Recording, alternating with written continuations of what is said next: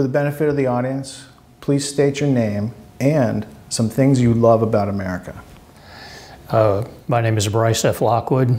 Uh, I love America, number one, for her freedom, number two, for the beauty of the country that we live in, number three, for the marvelous people that live here.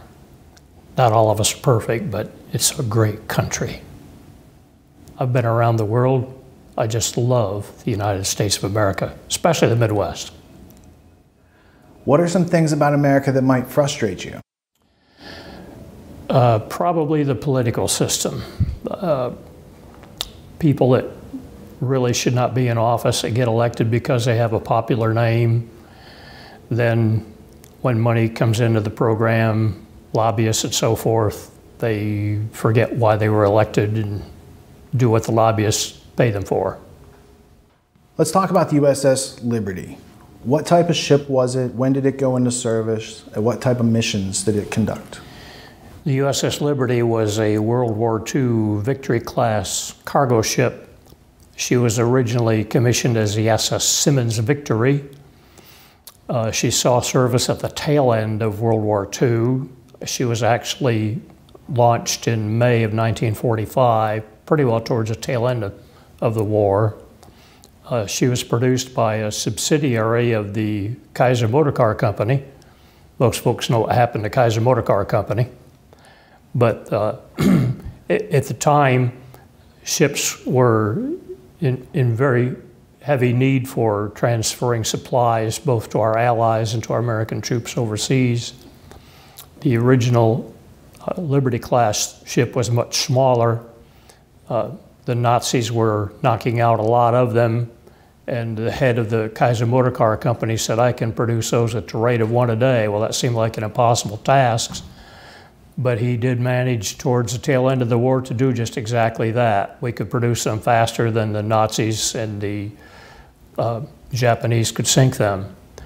Uh, SS Simmons Victory, shortly after World War II, was taken out of service and mothballed.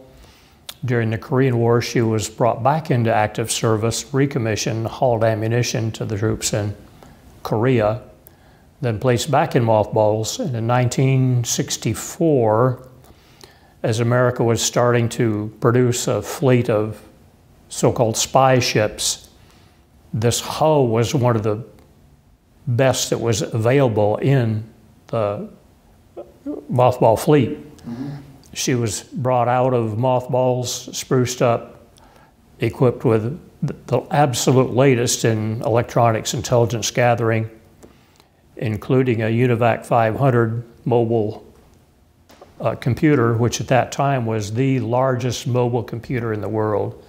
You could probably do that much with a watch these days, but back then it was pretty hot, skinny stuff. Um, Liberty's normal cruise was up and down the west coast of Africa. Uh, country, several countries in sub-Saharan Africa had just won their independence from colonies such as Spain, Portugal, England, and France. Mm -hmm. There was a heavy Soviet influence in these countries that had newly found freedoms and a heavy Cuban influence. And the United States wanted to keep track of what was transpiring between the Russians and the Cubans and these newly found countries. That was Liberty's primary cruise. Her port away from port was in Abidjan, Ivory Coast, and she cruised up and down the west coast of Africa until 1967.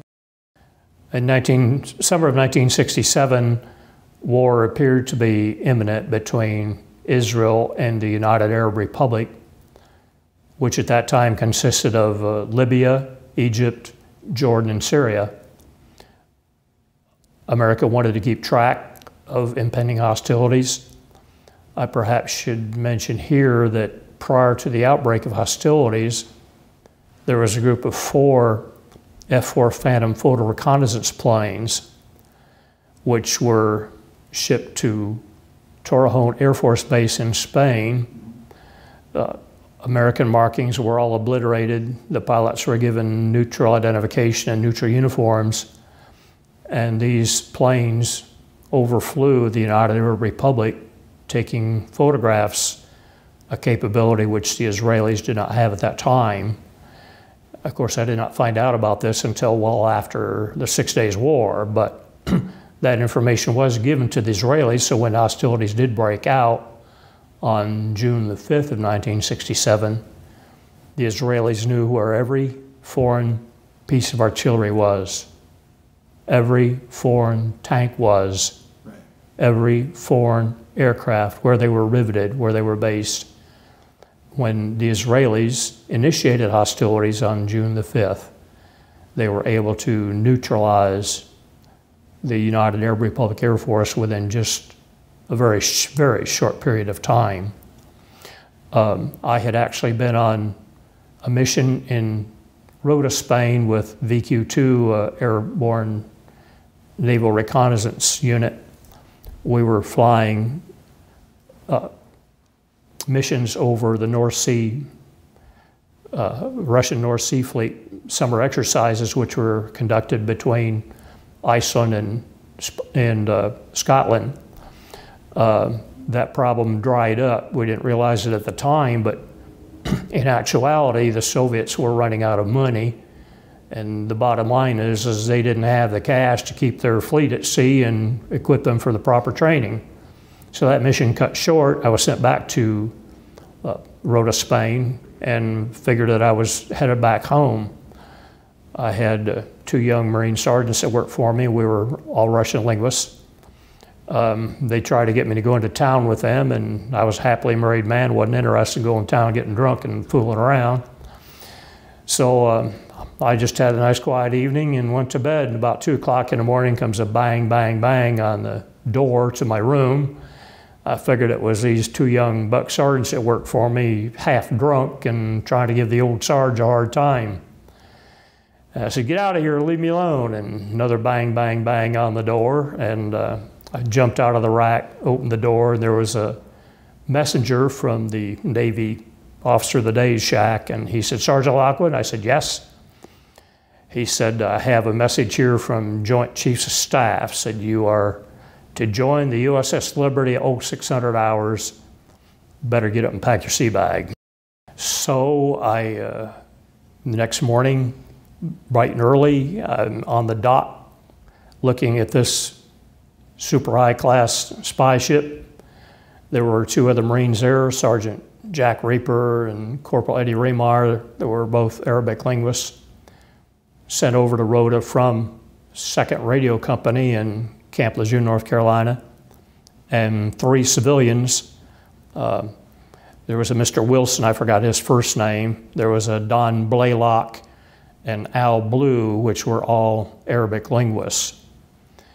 If there were any Hebrew linguists aboard Liberty, I was not aware of it. In fact, as we were en route to our uh, station, which was off the Sinai Peninsula, uh, just I, I, forget the exact date, but I think it was probably on the 3rd or the 4th of June when the senior research officer aboard Liberties, Lieutenant Commander David Lewis, uh, called all of us senior linguists together and told us what we were going to be doing. We were to search all the frequencies for voice activity. Uh, my primary responsibility was Soviet activity in Egypt. There was a group of five Soviet Tu 95s stationed at Alexandria, Egypt.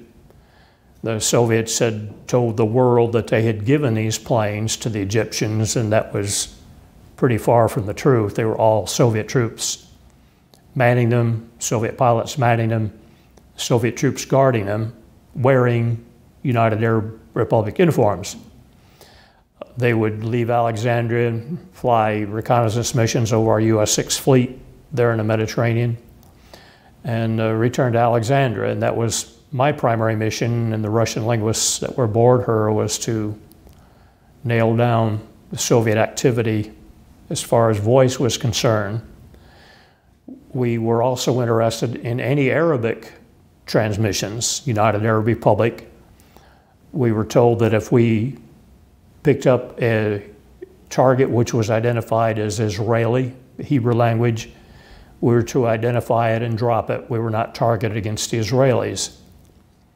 On June the 8th of 1967, early in the morning, we were overflown several times by clearly marked Israeli aircraft. I don't recall the exact number, but I think it was about eight overflights by the Israelis. Some of those flights were so low we could see the features of the pilots, so we'd wave to the pilots, to pass the pilots way back. Indeed, a lot of our troops that were off duty were laid out on the deck in lounge chairs catching some rays. Uh, excuse me, that's something that Arabs don't do. They're a lot wiser than we were back then, I should say, perhaps. On the morning of June the 8th, I had had the midwatch that night, got off duty, I believe at 06 or 0700, I forgot exactly, but uh, went and got a meal and uh, I had very limited uniforms, so I went to the small store there on the ship and picked up some underwear that I didn't have with me. And I was at my bunk. Um, we, we had had a drill GQ at roughly at noon on the 8th of June. It lasted probably close to an hour at the dr drill GQ. The captain Captain McGonagle came on the address system aboard the ship, the 1MC address system, and told us some things he would like to see us improve. Reminded us that we were very close to a active war zone and reminded us to stay vigilant. Uh, I had gone back to small stores after we secured from the drill GQ and purchased some clean underclothes that was at my rack in the berthing compartment, the after part of the ship, stamping my name in my new T-shirts when there were some very loud explosions. I had never been under hostile fire before, but I knew immediately that this was no accident. Dropped what I was doing and headed for my GQ station. The general quarters alarm sounded. It was rather ironic that uh, the wrong alarm was sounded I don't recall just exactly all. One was for attack, one was for chemical attack, and I think the other one was for atomic attack. I don't recall exactly now, but they, each one of those alarms had a different sound, and the wrong alarm was sounded, but it didn't make any difference. it's pretty obvious we were under attack. My drill GQ or my GQ station was below decks in the uh, secure spaces where we had manual Morse intercept positions and uh, linguist intercept positions. We were in what was called the co-ord spaces where we put all the messages together and um, assigned notations to it so they could be kept track of and forwarded that material on to the National Security Agency for distribution to the consumer. Um, my position was in a, a transcription room where we took voice tapes that we had intercepted and transcribed them and sent the translated material back on to Washington. We had stacks of coding manuals and stacks of magnetic tape that we had collected. We could hear the whole ship would ring as these shells would strike it. The Israelis were using um, rockets and 40 millimeter cannon fire. Every time one of those shells would strike the ship, it was like you were on the inside of a large steel cylinder with someone beating on it with a sledgehammer, just the whole ship would ring.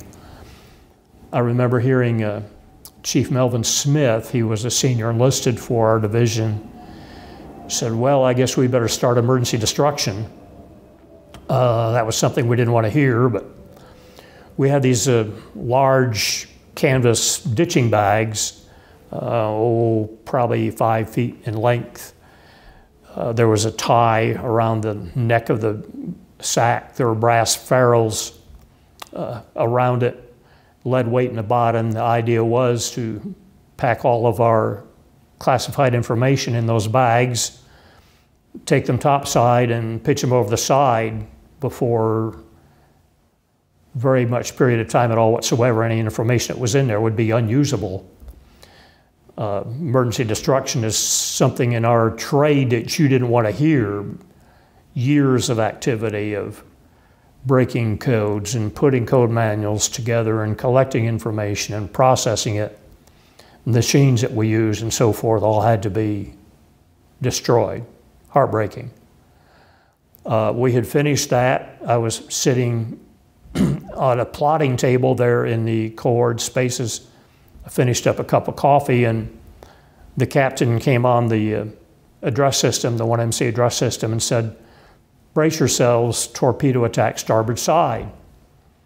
I had a longtime friend of mine, Ronnie Campbell, that was there in the office, and he said, Well, they've hit us with everything else. Well, can they hit us with?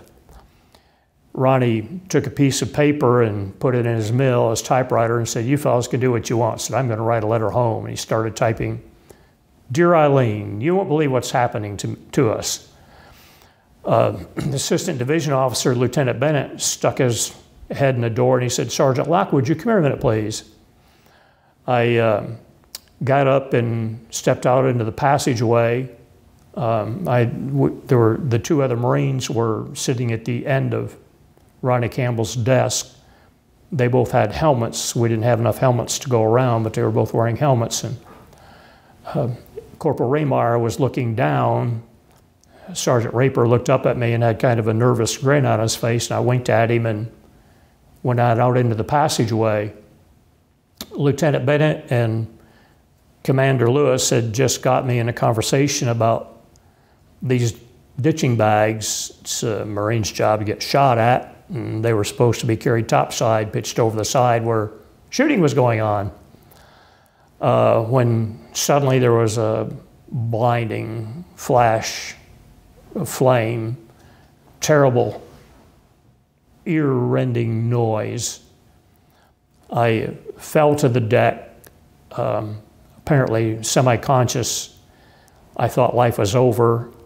The first thought that came through my mind I said, Well, Lord, I guess I'm coming home. At least Lois and the kids are taken care of, Lois and my wife, my three children. I felt something cold and I looked down and water was gushing in. I thought, oh my God, we're in trouble. I struggled to my feet and I heard a sailor moaning behind me, and I didn't find out until considerably later either who it was or what the circumstances were. The man's name was Joe Lentini, Joe had taken a piece of shrapnel from a rocket, apparently, that had penetrated the entire ship and struck him in the thigh and was bleeding rather profusely in his thigh. And he had sat down on the deck and leaned up against the ladderway that was the escape to the next deck above, our only means of escape out of that, those secure spaces, and was putting a tourniquet on that wound when the torpedo struck. We had sheet steel bulkheads that separated the various operation spaces. And the blast from that torpedo had just mushroomed that sheet steel bulkhead out. Joe had his left leg propped up while he was putting that tourniquet on his thigh. And that sheet steel bulkhead just trashed his left leg, just made toothpicks out of his femur bone, and tangled him up in the wreckage. Um, water was coming up pretty quickly. I tried to get my arms under his armpits and pull him free, but he was wedged in there pretty tightly. I said, Come on, you got to help me. I can't do it by myself. And water was coming up quite rapidly by then. Uh, it was almost up to his neck. And I said, Come on, get your legs under you and push. I can't do it by myself. Come on, push, push. And I saw him kind of struggling around. I didn't realize his left leg was just useless. But he got his right leg under him and pushed just enough to where it could pull him free but I still didn't realize that his left leg was still tied up in that wreckage. By that time, the water was within about 18 inches, foot and a half of the overhead. And I said, Here, get a hold of these pipes up here. There was a bunch of uh, pipes that had cabling in them, power cables and antenna cables and so forth. I got one hand around that, and about that time, I saw this uh, body floating towards the torpedo hole. And I just reached down, got her arm around it, held his head above water. There was uh, quite a bit of panic. Uh, the sailors were crowding around that one narrow ladder leading to the deck above, and a lot of shouting and hollering. And uh, I just shouted out as loud as I could, Knock it off! If y'all don't settle down, none of us will get out of here alive. I heard uh, Lieutenant Bennett, the assistant division officer, was apparently at the top of that ladderway. We had a large hatch that was watertight that was placed down, and there were heavy dogs. There were bolts with a large nut on it that were screwed down tightly. And in the center of that hatch was a smaller scuttle hole with a release was a circular wheel that you could release that and open it up. And he said, This Lieutenant Bennett opened this hatch. Apparently, I passed out because I don't remember anything for a period of time. When I, the next thing that I realized was everyone was gone except me and this sailor that I was trying to keep his head above water. I uh, started towards the ladderway and dropped him, and as the ship was rolling, there was a huge hole in the side of the ship from the torpedo. It was about roughly 30 by 40 some feet in diameter. Um, as the ship would roll with a natural wave of the sea, water was gushing in and then gushing back out. And this sailor's headed towards that hole, so I went back and got him, got him back up to the ladderway, got about halfway up the ladderway, and um, the torpedo had ruptured a fuel bunker. And this bunker fuel that operates the boilers aboard ship was a real heavy grade of oil, stinks awful. That oil was everywhere. We didn't have any light, couldn't see anything. The only light I didn't actually realize until much later, the only light that we had was what was coming through the torpedo hole underwater. I got about halfway up the ladderway, and a piece of the torpedo had struck the railing to this ladderway and squeezed it in. There was only about an eight inch space to get up past there. It was covered with oil and seawater, and I slipped and dropped this sailor again. Went back, got him again. So I got to watch out for that place in the railing. Got up to the top of the ladderway, and the hatch was sealed shut. And uh, I'm trying to hold the sailor above water with one hand and pounding on the hatch with the other. And there was a gentleman uh, by the name of Bobby Schnell that had opened the scuttle hole and saw this Marine down there and beat open the uh, bolts that were holding it down and opened it up. And I didn't realize until much later that that was actually Bobby Schnell who had done that. There was another sailor there by the name of Phil Tourney. Uh, Phil was part of the damage control. He didn't have legal access to our spaces, but the captain had set him down there to take a look at the damage and see how badly the ship was hurt, whether or not she's going to sink nearly immediately or what. Uh, Phil told me, he said, you, the captain has said to prepare to abandon ship. He said you need to get on a life vest and put one on him. There was a large bin there that had life vests in it. He said you don't need to inflate it now. He said you could pull this cord and that will automatically inflate. But he said uh, they're taking the heavy casualties back to the mess area. They had taken mattresses from the afterberthing compartment and put them on the tables in the mess decks area and were treating the most severely wounded. Well, I tried to pick this man up and put him over my shoulder and carry him back there, and I didn't realize I was weak and dropped him, picked him up again, dropped him again.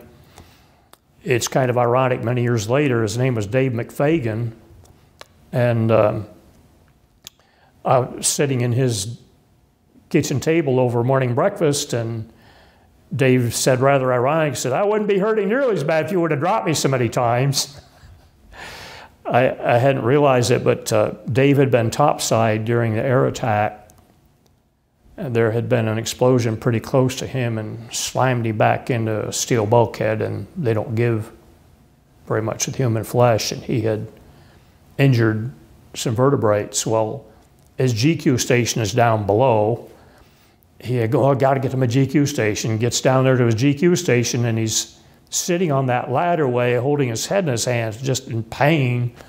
when they slammed the hatch shut and bolted it down, then the torpedo struck and slammed him back into that ladderway and broke some more vertebrates in his neck. And Dave is pretty well confined to a wheelchair now. Um, they tell me that somewhere along the line I had taken one man out and gone back down. Um, Chief White, Stan White, was a senior enlisted aboard the ship, Navy Senior Chief CT. He said that I brought one man out and laid him down and started back down there. And he told me, he said, Sarge, you can't go back down there. And he said, I just gave him a blank look and went back down, but I don't remember any of that. There was another sailor there, Bobby Schnell. Bobby had been a weightlifter, pretty good shape. Uh, Bobby picked uh, Mr. McFagan up and carried him back to sick bay. And I thought, man, I'm thirsty. I got to get something to drink. And there was a scuttlebutt just around the corner in the passageway, a drinking fountain. And uh, Navy kept that shining. Well, I went back there and reached over to get a drink of water, and a black man looked back at me. I thought, God, what's going on here? And then filled it with blood. Apparently, I was bleeding profusely out my nose and on my ears. Is that the time that you had the photo taken where you, it, the uh, explosion was, blackened that, your face and that was taken bleeding? the next morning. Okay. Um, I went back to the sick bay area and we are still under attack. And I'm thinking, that, I think most of us believed that it was Egyptians that were doing this. And I'm thinking, good Lord, if I'm going to be taken prisoner of war, shut up in an Egyptian prison for a few years, I want something to read. And uh, the torpedo had destroyed my glasses, but I had a spare pair in my bunk in the afterberthing compartment, so I went back to my bunk and got my spare pair of glasses and put them on. And I had a leather New Testament there that one of my friends had given me in language school. I stuck that in my pocket, and um, someone said that seriously wounded need to go to the radio room, which was on the um, port side of the ship. So I went out to the radio room and they told they were still shooting out there. Rounds were buzzing around. So you better lie down. While I laid down face up on the deck. And um, I heard this mayday go out Firefox, Firefox, this is Rock Star, Rock Star under attack by unidentified surface and naval air units require immediate assistance. Well, as soon as that mayday was acknowledged, the shooting stopped. And I saw some sailors take three inflatable life rafts through the radio room. They were attached to lines to keep them aboard until the wounded were loaded aboard them. I heard a revving of engines and more machine gun fire. And one of those sailors came back through the radio room and said, I don't know what we're going to do now.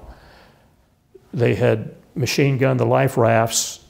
The line to one of those life rafts had been severed, and the uh, torpedo boat had picked up that life raft and taken it aboard.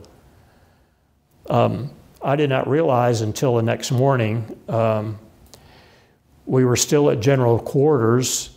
There was a quite a lengthy period of silence, and uh, then we heard aircraft approaching, helicopters. You could hear the beat, beat, beat of the helicopter blades, and I didn't know until considerably later there were two helicopters that came over fully loaded with troops armed with automatic weapons, hand grenades hanging off them. Some of the troops were had their feet out the door, resting on the skids to the helicopter. Um, and apparently, by that time, they had been recalled because of the acknowledged Mayday. Um, they hovered for a while and then left. And uh, we were told that probably everything's going to be all right. And I don't remember exactly the series of events here, but sometime after that, we heard more helicopter thump, thump, thump. Um, a helicopter had been sent out with uh, U.S. Naval attache aboard it. and uh, we didn't know. We, we, we thought we were under attack again. Um, the naval attache dropped a brown paper back on the forecastle of the ship. There was blood and gore everywhere up there.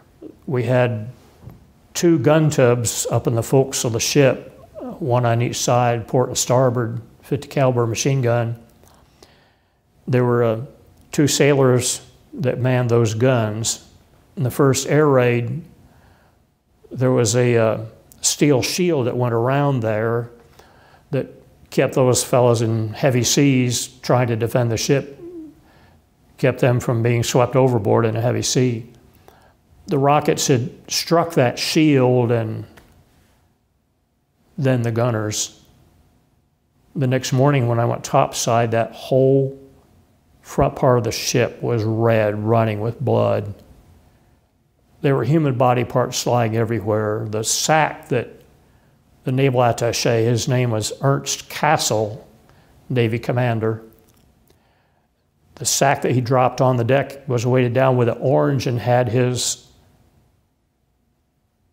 business card in it. Commander Ernest B. Castle, U.S. Navy, U.S. Naval Attache, Tel Aviv, Israel. It landed right next to a severed leg that still had the boot on it. And on the back part of the card it said, Have you casualties? Well, excuse me, it was pretty obvious. Um, someone picked that sack up and carried it to the captain. The captain looked at his card, and I understand that he stuck his head out the door and popped the social finger at the helicopter. Uh, the helicopter left. Um, we were trying to recover. I was taken to the uh, mess decks area. I was uh, trying to do my best to help those that were wounded more seriously than I was. Our executive officer, uh, Commander Armstrong, um, Lieutenant Commander Armstrong had taken a piece of shrapnel through his side and uh, was bleeding rather profusely. Well, I had the same blood type as he did, so I got a hold of Dr. Kiefer, our ship surgeon. I said, uh, How about let me give blood for Commander Armstrong? And he shook his head no, and I was a, a little angered. I said, This man's dying, so I can give, I, I can give blood. I gave him blood before. And a Navy chief by the name of Joe Bankert came over and said, Sarge, you've done enough. I said, Come with me. He took me over to uh, another part of the mess deck area, and there was a mattress laid out on the deck, and he sat me down, and uh, a friend of mine, Bing Bingham, who'd been a former Marine, came over and brought a, a canteen mug that had coffee in it, and apparently had something else in there with it, because whatever it was, it knocked me out. Um, the next morning when I woke up, Bing Bingham standing over me again, and he said, Sarge, this one's okay. Said, you can drink this. It was another cup of coffee. And I wanted to see the damage. He said, he, Bing told me then that it was the Israelis that had done it.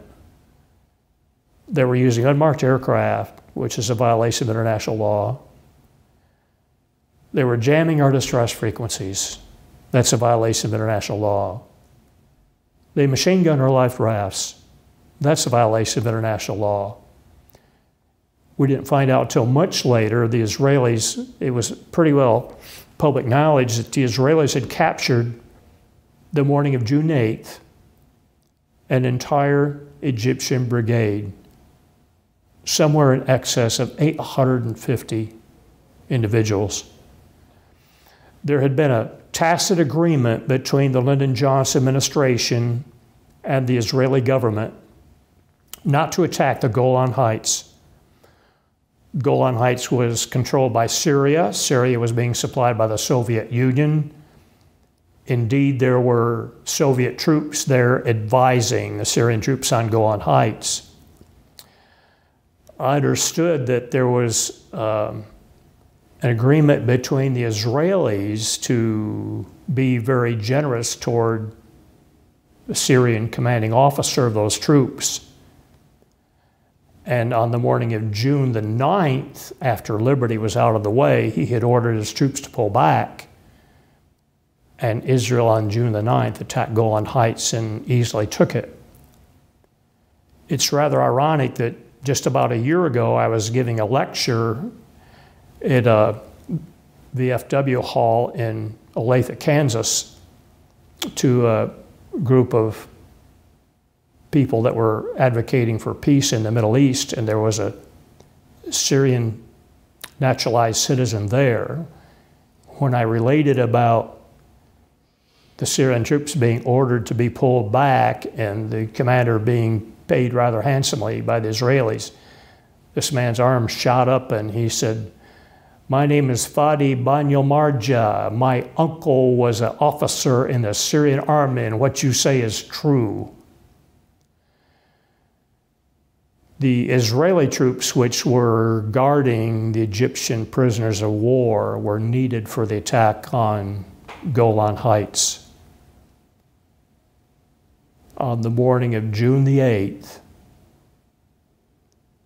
this entire Egyptian brigade was forced to dig their own graves and then brutally murdered by the Israelis. Many of them had their hands tied behind their backs with barbed wire. Folks, we're talking about a very serious violation of international law here. I think the year was 1986. I picked up a copy of the Springfield, Missouri News Leader. Buried on the inside was a tiny article about those Egyptian troops being brutally murdered by the Israelis. The individuals who blew the whistle were two Israeli journalists, one from Israel television and the other from an Israeli newspaper. When we talk about fake news, there is definitely, folks, a need for news people that are interested in digging and finding out the facts. So those Israeli muckrakers, their story made it into the Springfield newspaper. Yes, I think the year was 1986. And it wasn't widely covered or publicized elsewhere? Uh, I understand there was an article in the uh, New York newspaper, um, but that was also buried on the inside. Uh, I have a copy of the article that I cut out of the Springfield news, leader. So let me just frame out what you've described thus far. You were 27 years old, you had a wife and three kids. You weren't stationed permanently on the Liberty, you were en route to Spain. So you get, uh, you get some mission orders, you go on the ship, you need some clothes. You're getting familiar with that ship. Was it similar to any other ship that you had been on, or did you have to learn new passage layouts and general quarters drill? You know. This was my first time aboard ship. Period. Okay. Uh, because you're a linguist, so you had served uh, on my, my, duty stations prior to that had all been land bases. Uh, my uh, pretty much my entire first four years in the Marine Corps spent going to school, so manual Morse code, then uh, Army Language School at Presidio Monterey, California for Russian language. That was a year school. Um, then I was sent to Fort Devens in Massachusetts to uh, communications intelligence school there where we did processing and reporting, how to process and report the information that you have found out. And um, my home base was actually Second Radio Company at Camp Geiger, North Carolina. Uh, in February of 1963, this was about the time the uh, intelligence fleet was being designed and put together uh, I was sent with a, a, group of some other Marines to Fort Meade, Maryland. That's we, the NSA? Yes, National Security Agency, right. we were studying a sub Saharan African problem, and that was these countries, which I'd mentioned earlier, had just won their independence.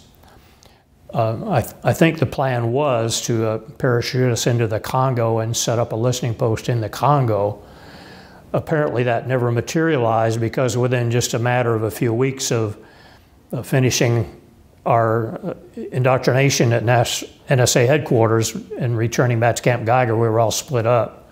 Our uh, lieutenant in charge was sent to Vietnam. I got orders to Edzell, Scotland. I was two years in Edzell, Scotland, then transferred to uh, Turkey. I was at Karamursel for about seven or eight months. These are all listening stations? Yes, yes. And uh, then in uh, December of 1965, our entire Marine outfit at Karamursel, Turkey was transferred to Bremerhaven, Germany. In 1967, I was on temporary duty with these two other Russian linguists to VQ2, um, the Aerial Reconnaissance Unit in Rota, Spain, and then again transferred for temporary duty aboard the USS Liberty. So you're a Russian linguist. Yes. It's the Cold War. Yes. You're on a naval ship that has been outfitted or re-outfitted with the latest in surveillance technology on the planet. It's NSA equipment on a Navy ship, and you're a Marine. You're helping to accomplish the mission. The mission, they have been sailing up and down the coast of Spain or uh, coast of Africa for three years, right? It's not like they took a ship from Indonesia coverage and put it over here by Africa. This is a known ship. It sails around, it has these antennas, right? It's a, it's a known known in that area. You don't have any Hebrew li- linguists, but you have Arabic linguists, you have Russian linguists, because that's That's who you're, you're targeting. So even though you're a spy ship in international waters, it's well known that you're a spy ship in international waters and that you're only spying on, on enemies, not allies. That's correct.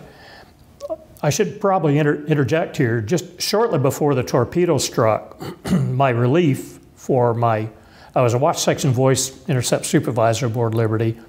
I had uh, three sailors that worked for me. They were Spanish, Portuguese, and French capable linguists. And uh, the two Marines on day watches, I also had civilian advisor, Al Blue, to my watch section, which were all Arabic linguists. Uh, just shortly before the torpedo struck, my watch section relief named uh, CT1 eye brancher by the name of Jim Lupton. His home base was in Karamursel, Turkey, and I had known Jim when we were stationed at Turkey. Jim was the president of the scuba diving club at Karamursel, and I had made some inquiries about getting scuba qualified while I was there, but it turned out that we were packed up and sent to Bremerhaven, so it was quite a surprise when I got aboard the ship, and Jim and I became pretty good friends. Uh, just shortly before the torpedo struck, Jim came running into the coordinating spaces where I was and said, Hey, Sarge, I got him, I got him. And he still had his earphones around his neck. And I said, You got who, Jim? He said, The Ruskies. And I said, You're kidding me. He said, No, man, plain language. And he went running back into the voice intercept section area when the torpedo struck and killed him. So at the time the torpedo struck the Liberty, the Russians were sending messages in the clear that you guys were hearing. Yes. Where did the torpedo come from? Uh, there were three motor torpedo boats that were using a classic wedge formation. Uh, actually, I did not know they were Israelis until the next day. It was my understanding that all the aircraft, I was below decks throughout the entire attack, or inside the ship throughout the entire attack, but it was my understanding from the fellows that were there that they were using unmarked aircraft. But when the torpedo boats attacked, they were flying a Star of David. One of our naval officers that was topside was Jewish. I don't recall his name, but I understand when he saw the Star of David on the torpedo boats, he burst into tears. Captain McGonagle, at this point, what type of injuries has he sustained? Uh, Captain McGonagle had taken a piece of shrapnel in his thigh. He had been bleeding rather profusely, and he had lost quite a bit of blood, but he refused to leave his station. I became pretty good friends with Dr. Richard Kiefer years later, and Dr. Kiefer told me in 2009, he said, I could have and probably should have relieved the captain of his duties. He was occasionally slipping in and out of semi consciousness, and he probably should have relieved him. Uh, I don't know whether I should say this or not, but one of the other officers told me that Captain McGonagle had said, Let's run her aground and abandon ship. The officer that told me that later became, uh, he, he didn't get along just real well with Captain McGonagle. His name was, uh, uh, I'm sorry, I just slipped my mind, but uh, he, the captain pretty well ruined his future career. When I eventually got back to my home base in Bremerhaven, my Marine commanding officer assigned me to duty NCO, non-commissioned officer, one night. And uh, I had to go check in with the officer of the day. His, his name was Lloyd Painter. He was a lieutenant JG. He had been an ensign aboard during the attack, but he'd been promoted to lieutenant JG. And he was the officer of the day. So I go into his office space, and there's Mr. Painter's sitting in there with his jacket all unbuttoned and his tie loose and his feet propped up on the desk. Says, "Hey, Sarge, good to see you." Mr. Painter got out of the Navy and went to week went to work for uh, the Secret Service. Quite some years later, he's part of the Presidential Advance Party in New York City. Mr. Painter is on an elevator car with a fully automatic weapon, and Moshe Dayan gets in the same car. Mr. Painter told me later, he said, I thought about it. Moshe Dayan was the prime minister of Israel during this uh, period. Uh, he was the head of the Soviet military forces, and we found out later that it was actually we have a document that was later released under the Freedom of Information Act that it was Moshe Dayan who had ordered the attack on our ship over the objections of both the Prime Minister of Israel and the Foreign right. Thank Minister. You. Thank you for the correction. During this time, LBJ is president. The USS Liberty is part of the Sixth Fleet. It's, there's a lot going on in the Sixth Fleet. Actually, she was only part of the Sixth Fleet for communication purposes. She was operating independently. And were there any other U.S. ships or U.S. airplanes in the area? It was my understanding sometime later that both the Air Force and the Navy had uh, spy planes overhead, and the transmissions between the attacking Israeli pilots and their ground control station were intercepted by both the Naval Reconnaissance Air and the Air Force Reconnaissance Air. I've noticed a lot of parallels between the attacks that were suffered in Benghazi at the Libyan uh, American embassy in Libya and its uh, auxiliary units, insofar as calling for help, help being available, but the rank and you know the, the hierarchy is is denying it. Is there anything in the in the case of the USS Liberty where United States military personnel could have been brought to bear to help the situation, help alleviate the situation, and we're told to stand down? Um, Liberty had requested a destroyer escort, and Com 6 Fleet, believe that would have been Admiral Bill Martin, told us that you are a clearly marked ship sailing in international waters. Your mission is pretty well known. There's no need for any escort. The nearest ships were some 400 nautical miles away, which was the Sixth Fleet. Um, Commander Lewis's wounds were very similar to mine.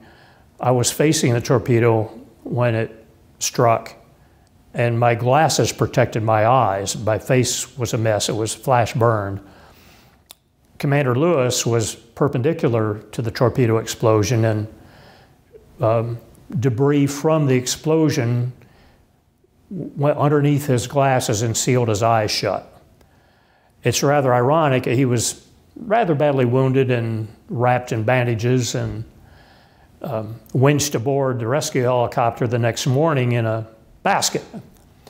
And the Navy guy that winched him aboard couldn't tell which end was which and sat on his face. And Commander Lewis said sometime later, said, how ironic. Here I survive a torpedo explosion and die of suffocation with a sailor sitting on my face.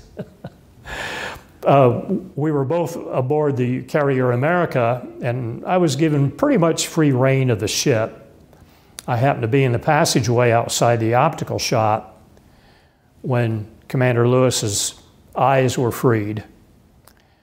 And uh, he had his back to me, and he was reading an eye chart while a corpsman was telling him what to do. And I stood in the doorway patiently until he finished reading a chart. He turned around and saw me there, and he said, Sarge, how good to see you, and grabbed my hand, just gave me a strong handshake. several years later, we had been invited to the White House under um, the administration of George Herbert Walker Bush. He was supposed to meet with us. We were there for an anniversary reunion.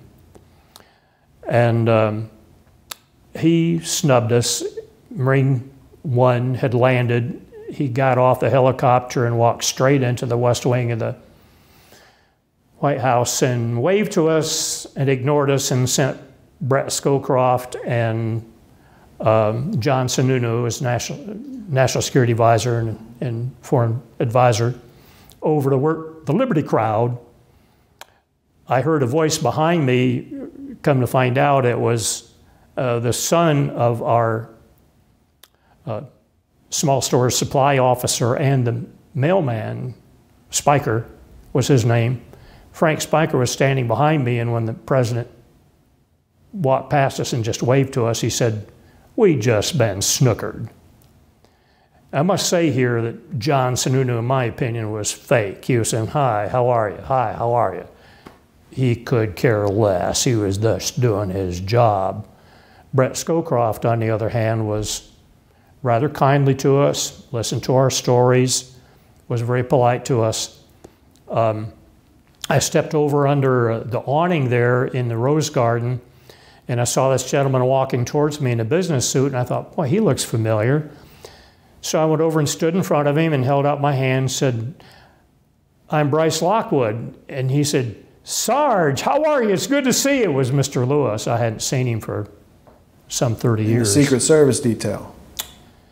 No, he was, uh, he had uh, spent his time in the Navy and retired as a full commander and uh, was just there for the reunion.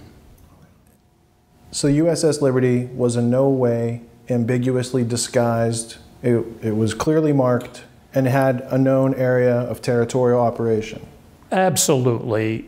Uh, the Israelis claimed they mistook us for an Egyptian ship, the El Qasir, which, excuse me, was well identified in Jane's All the World's Fighting Ships. If you're any kind of uh, uh, ship, military ship at sea, you must have aboard you a copy of Jane's All the World's Fighting Ships. Right. So obviously, the torpedo boats that attacked us should have had a copy of Jane's All the World's Fighting Ships. And that would give the profile of the ship so that the profile of the ship her armament, everything about her, the shipbuilding company, her propulsion system, and the same for the Egyptian ship El Qasir. Well, Jane's fighting ship said she was inoperative and waiting to be cut up for scrap. and excuse me while we're on the subject, American ships are painted gray. Hull numbers in English lettering and figures highlighted those uh, GTR 5 stands for General Technical Research. That means she's a non combatant. Number five stood for her, the ship of her class. She was a fifth and newest ship of her class, clearly identified. Egyptian ships at that time were painted black with hull markings in gray in Arabic script. Every highway sign in Israel is in Hebrew Arabic script and English lettering. Don't tell me the pilots could not tell the difference, or the torpedo boats could not tell the difference between Arabic script. Maybe you could claim they were colorblind. It's close enough for plausible deniability, though, to use as an excuse. That was the excuse they used. In the video Dead in the Water, which was done by BBC television, there was an interview there with the Israeli admiral, who was the father of the torpedo boat captain that fired the fatal torpedo. And he says, Well, they are similar. I, I suppose you could claim that. They were both ships. How did they know to use unmarked planes? How did they? Well, uh, that would not be in my field of endeavor. I wouldn't have any idea, but it's pretty obvious they were trying to cover up what they were doing. That same afternoon that Commander Lewis received his eyesight back again, he was uh, ordered to go to the Admiral's stateroom aboard the USS America, the aircraft carrier. Admiral Geis was the commanding officer for Task Force 6. which included the carriers USS America, USS Saratoga, and the um, guided missile cruiser USS Little Rock. Admiral Geis explained to Mr. Lewis that he had done his best to get aid to us. Uh, aircraft launched both by the USS Saratoga and the USS America. They were recalled by Secretary of Defense Robert McNamara. Joseph Tully, who was skipper of the USS Saratoga, came to our 25th anniversary reunion in Rapid City, South Dakota. Captain Tully said, he was a rather short, gravelly voiced individual. He says, Come here, Marine, I want to talk to you. He said, I understand you got shut in trying to save a sailor. Well, the conversation went on to what had happened. He said, I wanted you to know that we did our best to get aircraft to you.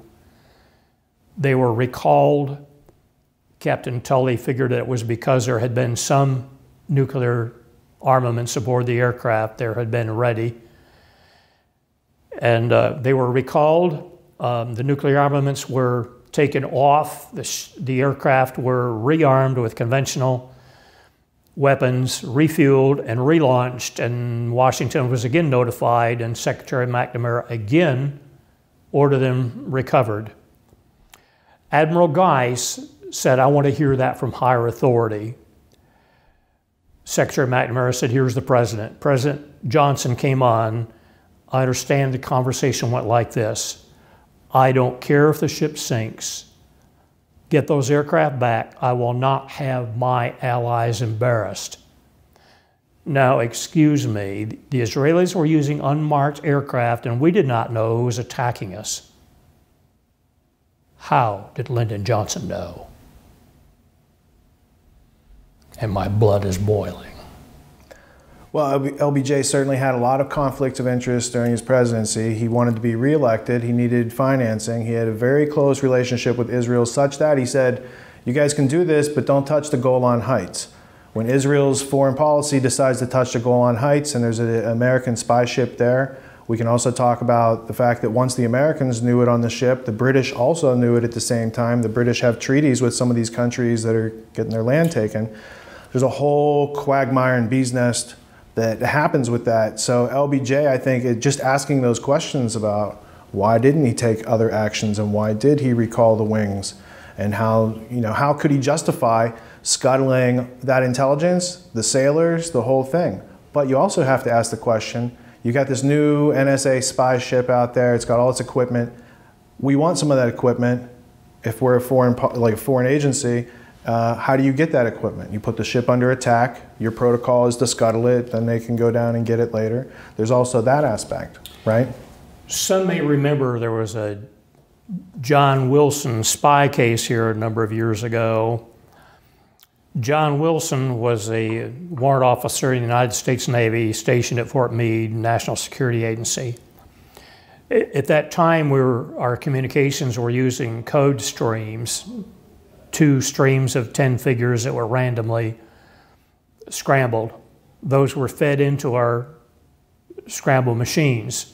That was the same system that we used actually in our tactical equipment in Vietnam and the same code streams. John Wilson was passing those code streams lucratively to the Soviets. Well, the code streams were no good to them without the equipment. There are some of us that, looking back, think there's a very good possibility that there was agreement between the Israelis and the Soviets. From the moment that we the USS Liberty left Rota, Spain, we had a Soviet destroyer that was shadowing us roughly 1,500 yards off our starboard beam. That Soviet destroyer was on the scene, knew what was going on, the first to offer us aid the morning, the day of the attack. What were they doing there besides shadowing us? We were in relatively shallow water. Had we been sunk, it would have been pretty easy for Soviet divers to go down to the wreckage and retrieve that communications gear. Seven months later, January the 21st, 1968, USS Pueblo, captured by the North Koreans, same communications gear, now the Soviets have it. The truth of the matter is, without the IBM cards, which were destroyed on a daily basis, but the Soviets would not have known that when they were after that communications gear.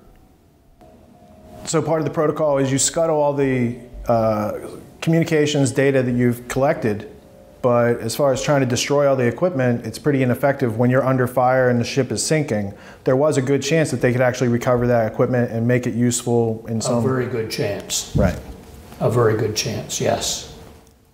I spent 10 days aboard the uh, Carrier America. Uh, actually, on the 9th of June, what I was taken to sick bay aboard the America, the uh, chaplain and a doctor came and checked us out, and uh, doctor said, You're in pretty good shape. I said, Oh, good, I can see the ship. And the chaplain was standing right there. He was a Navy commander, and he said, No, Sarge, he said, You take it easy today. He said, You don't need to be up running around. They uh, gave me a bunk in the sick bay, and uh, I'm sitting on the edge of my bunk, and the, the skipper of the Marine detachment, uh, Captain L.L. Charetz, Lonnie Charetz, came to me with the gunnery sergeant and uh, a young corporal and wanted to know if I needed anything. At the time, I smoked. And I said, I sure would like a clean uniform and some smokes. And he said, You got it.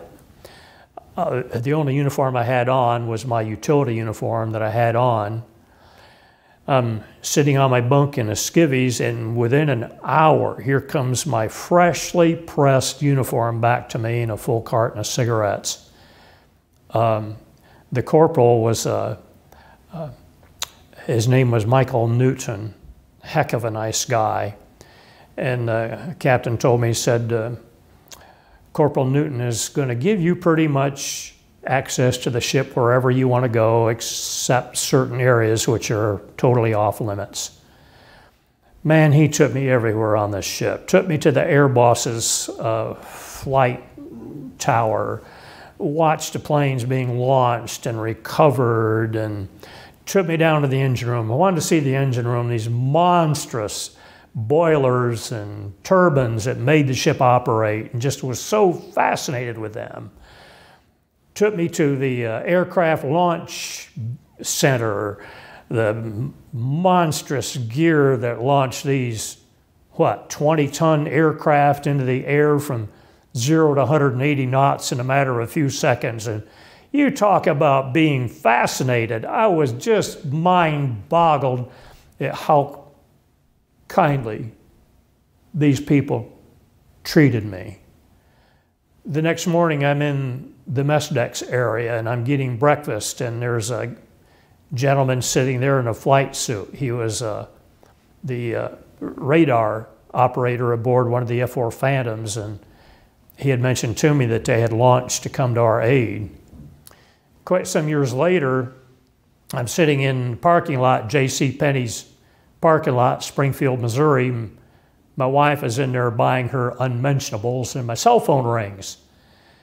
And this voice on the other end said, Is this Sergeant Lockwood? And I said, uh, Yes. He said, Well, you don't know me, but he said, My name is Bill Knutson. In 1967, I was executive officer of VF 33. I was the first plane that was launched to come to your aid. And we have corresponded back and forth several times since then, but um, he later retired a Navy full captain, and he said, To this day, I am angry. Well, when you have a president who would see it as embarrassing to save the lives of U.S. servicemen in order to preserve a relationship and foreign policy with an ally that wasn't treating us like an ally at the time, right? An unprovoked attack strafing of the, of the lifeboats, wanting that ship obviously to sink because they put 3,000 rounds into it. How many torpedoes? It is my understanding there were five torpedoes that were fired. Thankfully, the Israeli Navy wasn't nearly as competent as their Air Force was. in a classic wedge formation or arrowhead formation, there was a John Wayne movie from the Second World War where he was a torpedo boat skipper, and this is the same operation. There's a wedge formation, one torpedo boat in the lead, one back to the starboard side, one farther back to the port side. The first one fires their machine guns, tries to keep heads down so they can get in close and fire their torpedoes. They peel off, the second one does the same, they peel off, and then the third one comes in. Well, that would be tor torpedo tubes on each of those torpedo boats. That would be six torpedoes what happened to the sixth one? It's my opinion that it didn't get out of the torpedo tubes. Malfunction. Right. Uh, at one of our reunions, we had a gentleman by the name of Rick Aimetti who had been up in the forecastle below decks in the front part of the ship. And he hears this funny noise. He said, I didn't realize it until later. That was a near miss torpedo that had passed ahead of the ship. Boy, doesn't that make the hair stand up on the back of your neck? So they launched five. They hit the USS Liberty with one. One. Uh, they also had the the unmarked airplanes, 3,000 rounds of how big were the shells that they were firing? Um, the Israelis were using a 30 millimeter cannon fire at the time. The projectile is about the size of a cigar. Uh, there were 3,100 of those strikes by accident aboard the USS Liberty. There were 826 large caliber strikes. We're talking about 40 millimeter cannon fire, which would not penetrate the three, three quarter inch steel that was the exterior hull of the ship. But when they struck, they splattered and left red hot shrapnel everywhere. That's what many of the casualties from the the deck crew were was from the shrapnel from those 40 millimeter cannon strikes. Now, at this point in the day, uh, what, what, time did the attack start? Uh, the attack was roughly 1400 hours local time, 2 o'clock, give or take a few minutes. But um, my wife had given me for my birthday in December of the previous year, 1966, a, a new Timex watch at the time, you had to wind your watch. Timex developed one that had a little weight inside it that when you moved your arm, that weight would swing around and wind your watch. And that was pretty choice, that watch. The torpedo had torn it off my arm. And later, when I went back to the ship off the, when I was sent back from the Carry America, I went down below decks and uh, one of the sailors told me, said, we, We've got several watches there. He said, You can go over there and find it. Well, I did find it.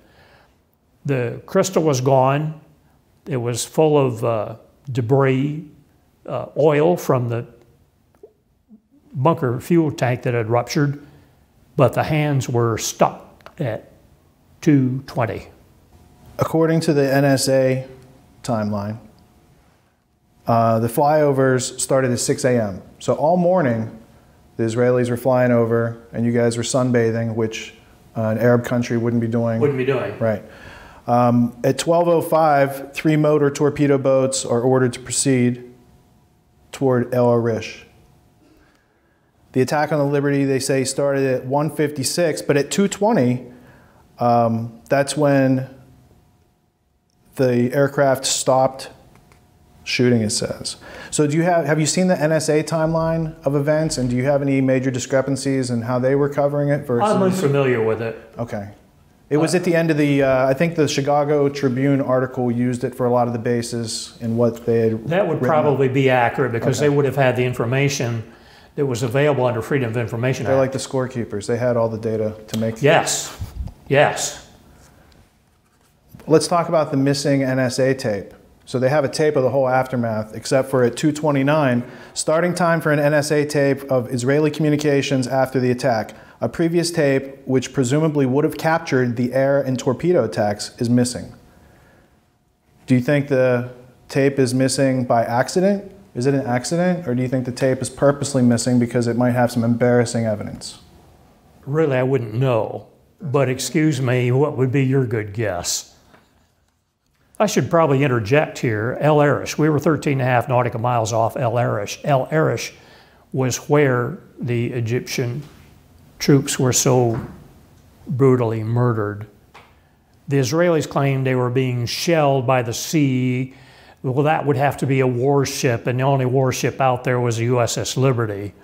Well, excuse me, uh, it would take a pretty large caliber ship at sea to lob a shell that far. The truth of the matter is, the explosions were captured ammunition that the Israelis were blowing up. Captured Egyptian ammunition, not shell fire from the sea. And excuse me, the El Quseir, the so called warship they claim they mistook us for, World War I Egyptian horse carrier, which had not been to sea for 20 years, was waiting to be cut up for scrap. It's ironic, you look in Jane's All the World's Fighting Ships, and it says her only armament is a four inch muzzle loading cannon. Now you keep mentioning Jane's because that's the Bible for identifying. That's the Bible for identifying armament. ships at sea. Right. Liberty would be identified as a non combatant ship, general technical research, which means she is not a military target. Now you would think during all the flyovers during the morning, if it's an accident, that doesn't make much sense. So if you look at it, it's a, there's Israel's at war. They're carrying out a, a campaign in that area. They see that ship. They see it as a danger, a threat to their plan. So from a, a military side, you would want to disable its communications first, and then you might want to scuttle it. Did the attack or the accidental attack happen in an order where they might have taken out antennas and communication equipment first and then sought to take the ship out? The, uh, the aircraft fire was directed pretty much at our transmitting antenna. It's my understanding they used some heat seeking missiles, and uh, any active antenna would have produced heat.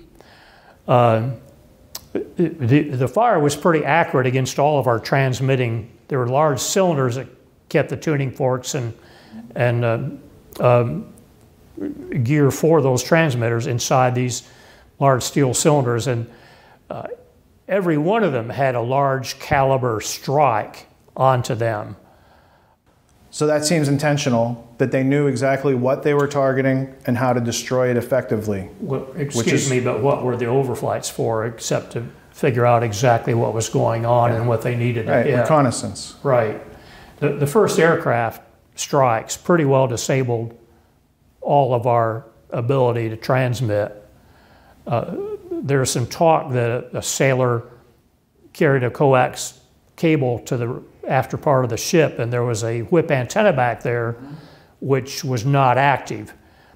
Um, there's some talk that the Mayday went out over that whip antenna, but I just had uh, an overnight stay with a gentleman by the name of Glenn Oliphant, who was an old branch uh, Navy communicator aboard the ship. My wife and I spent the night with Glenn and his wife in uh, um, Minneapolis, Minnesota, and Glenn told me actually that Mayday transmission had gone out over a long wire, which was relatively impervious to air attack. It would take an actual piece of shrapnel having to strike that wire directly to disable it. So that would have been relatively impervious to uh, strikes from the aircraft.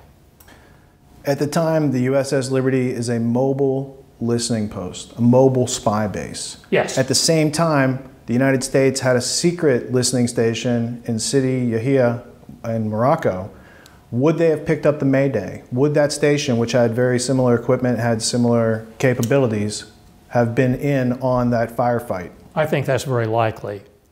One of the excuses that the National Security Agency put out was supposedly that uh, we used a five letter group as address code. Each one of those five letter groups was a different recipient.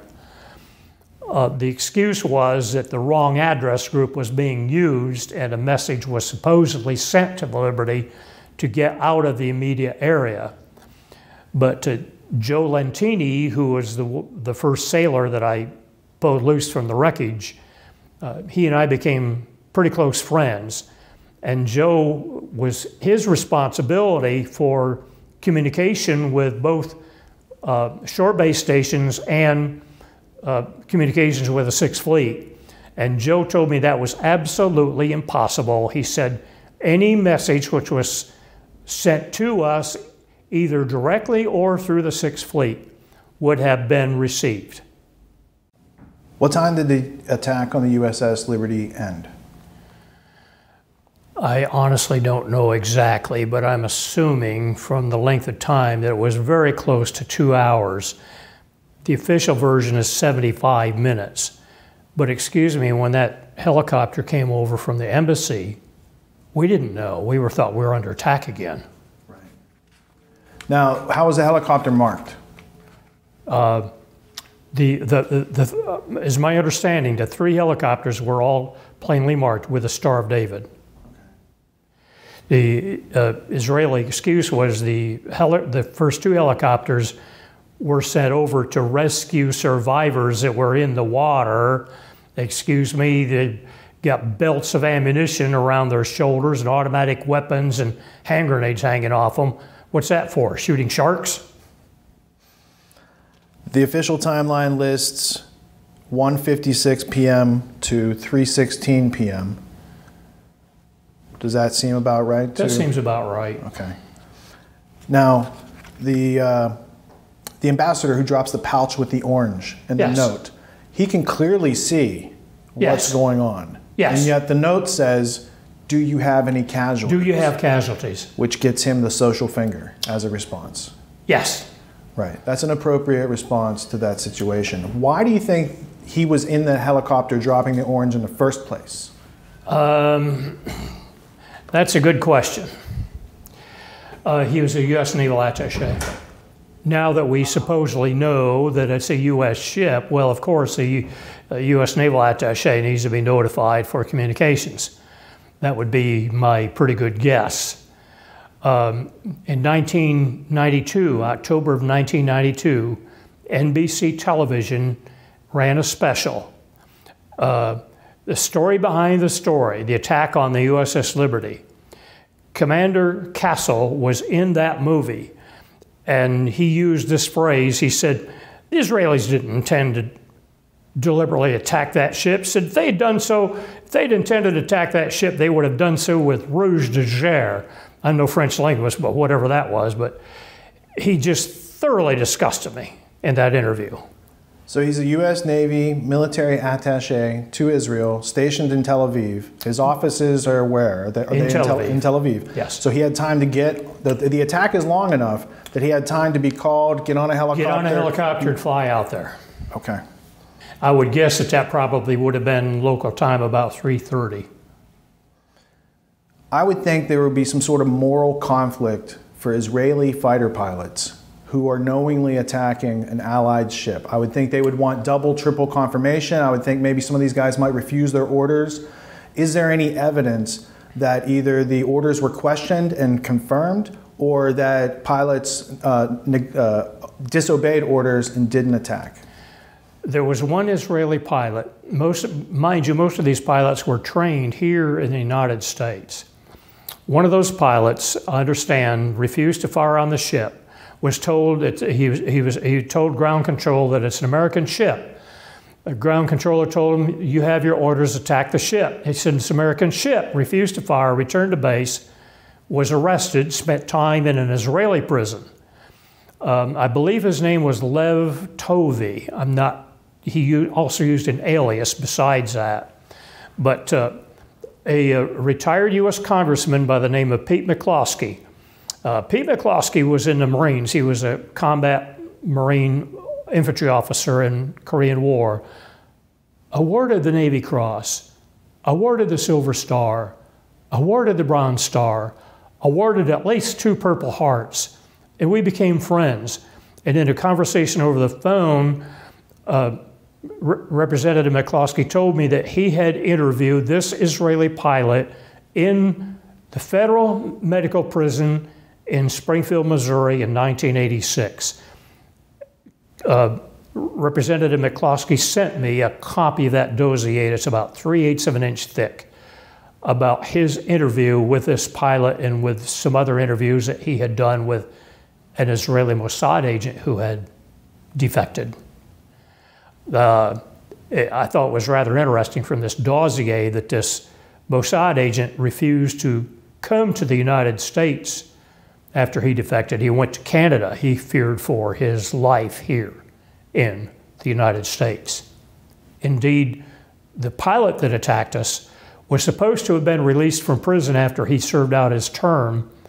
He had been sentenced to five years for bank fraud here in the United States.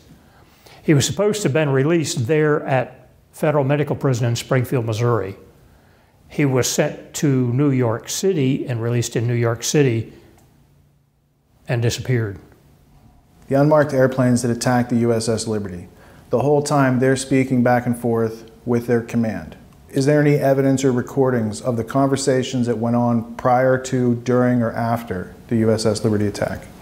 To my knowledge, there was none aboard Liberty, but there were American planes overhead at the time of the attack, both U.S. Navy and U.S. Air Force planes that were copying the transmissions. Was there a U.S. submarine in the area? There was. The USS Amberjack was in the area. At the time, she was conducting a super secret operation. Um, I understand that crew members from the Amberjack were watching the attack through the periscope and the racket from the attack on the Liberty was so loud, crew members from the Amberjack thought that they were being depth charged. The evidence of the alleged war crimes that you spoke to earlier, the, the strafing of the lifeboats, is there any evidence of these lifeboats being shot by the planes or? Um, one of those life rafts that, that wasn't disinflated, the line connecting the ship to the life raft was severed by the machine gun fire from the Israeli motor torpedo boat. That torpedo boat came in close. I heard the engines and picked up that life raft and took it aboard. It was clearly labeled U.S. Navy. I understand that that life raft is in the Israeli Naval Museum in Haifa as a trophy of war along with the ship's wheel from the torpedo uh, uh, boat that attacked us. Why would you collect trophies of an accident? That's a very good question. After this couple, few arduous hours of being under attack, not knowing who's attacking the ship really, until you see the torpedo boats, right? That's correct. And then the helicopters came after that. They were also. That's correct. Right? after that, what is the aftermath of the crew? How many wounded? How many killed in this um, claimed accident? There were, uh, yeah, claimed accident. There were 34 killed in the attacks. Nine were killed in the air raids, air raids topside. 25 were killed by the torpedo explosion. There was a total of 208 Purple Hearts awarded out of a crew of 294. Several men who had wounds were not badly wounded, and there was so much carnage. Our medical staff was horribly overworked, and a lot of fellows never even reported the fact that they were wounded. Um, one of the chiefs aboard the ship, Joe Bankert, had a Israeli 30 millimeter shell in his calf. He was a Boy Scout leader. He uh, got a first aid kit, dug the projectile out of his calf, and patched himself up. He doesn't have a Purple Heart, but he's got the bullet. Well, the USS Liberty is one of the most heavily decorated crews. The crew of the Liberty is the most heavily decorated crew of any U.S. naval ship in history. Is that my understanding since World War II, there may have been some that were more highly decorated during World War II. How many Congressional Medals of Honor were awarded? There was one awarded. Um, Dr. Richard Kiepfer, our ship surgeon, um, Lieutenant Commander Jim Ennes, who was author of the book Assault on the Liberty, and uh, Senior Chief Petty Officer Stan White all recommended me for the Medal of Honor, and um, Captain McGonagle refused to forward it. The Congressional Medal of Honor that was awarded, it was, uh, of course, awarded by LBJ in the White House because that's how they do that. No, it was actually um, awarded in the Naval Yard there in Washington, D.C., by the Secretary of the Navy. Uh, ironically, while lesser awards were being awarded across town in the White House by the President. My understanding was that LBJ at that time was uh, giving awards to high school kids or something to that effect. I something in comparison that. that made it very trivial and made, made me ask the trivial, question yes. why was the president distancing himself in, in giving these awards? Uh, especially that in honor of this magnitude. Just, I think there's only one other time in history there was, I understand there was a Marine from Korea that was awarded it, and it was given by uh, a Marine general instead of by the president. Did you ever read the book by Major General Smedley Butler? I've read some of his writings, yes. He won the Congressional Medal of Honor twice. He was twice. One, he was the most heavily decorated Marine in history. He wrote that book, War is a Racket, because there was that 1935, 1934 McCormick Dickstein scandal where the fascists had tried to take over the White House and they were leading a coup. And I always thought it was an interesting warning from a guy who had been through all these different military campaigns. At the end of his career, what does he have to say? And he's basically giving you a lot of clues to how the world works. George Washington, in his farewell address to the nation, warned America about getting too cozy with foreign powers. At the time, uh, the Marquis de Lafayette had both given troops and a tremendous sum of money to the American colonies to win their independence. And he was practically worshiped by Americans. There are towns named after Lafayette. There are streets and libraries named after Lafayette, and General Washington warned us about getting too cozy with that foreign power, having in mind that cozy relationship with Lafayette. All right, shoot forward a couple hundred years. What about this cozy relationship with Israel that gives them license to do whatever they want? And the American Congress turns a deaf ear. Article 1, Section 8 of the U.S. Constitution, duties of Congress. Congress shall investigate felonies on the high seas and acts of piracy against American vessels and interests. Congress has never done so. We have a letter from the Secretary to the Congress stating that there has never been a congressional investigation in the attack on the USS Liberty. In 2009, I'm living in uh, Strafford, Missouri. I've had a farm there for the last nearly 20 years. A neighbor of mine is a fellow by the name of Roy Blunt. I've known him since he was uh, Greene County um, uh, secretary that took care of elections. He later became a U.S. congressman. And uh, uh, Veterans Day in 2009, Strafford High School every Veterans Day puts on a big shindig for the town veterans. They invite their families to come, treat them to breakfast. There's a big assembly in the gymnasium and patriotic songs and a band plays and patriotic speeches. I was invited to speak on the attack on the USS Liberty and in a matter of just a few minutes laid down the facts that Israel had deliberately attacked our ship Constitution requires Congress to investigate it. They have never done so. Roy Blunt was introduced as having attended Strafford High School, but they didn't bother to tell the kids he'd been expelled for getting the Baptist preacher's daughter pregnant. And excuse me, his ex-wife, Rosemary, is a very dear friend. Mother, her mother is a very dear friend. Um, her father was pastor of the church that we're members of and has been for years. He's passed away now, but uh, Betty is still alive. And um, Roy Blunt gets up and said, the first word out of his mouth said, Bryce and everyone here, we need to remember that Israel is our best ally. And if Iran continues their pursuit of acquiring nuclear weapons, we're going to need Israel's friendship. I thought, why am I wasting my time? Um, some years after that, I was giving a lecture to a conservative Republican group in Tulsa, Oklahoma. There was a lady there who had served in the Oklahoma legislature, and she came to me afterwards and said, Mr. Lockwood, aren't uh, the Israelis our allies? And I said, Ma'am, we don't have allies, we have users. Well, the same sort of special relationship exists with Great Britain.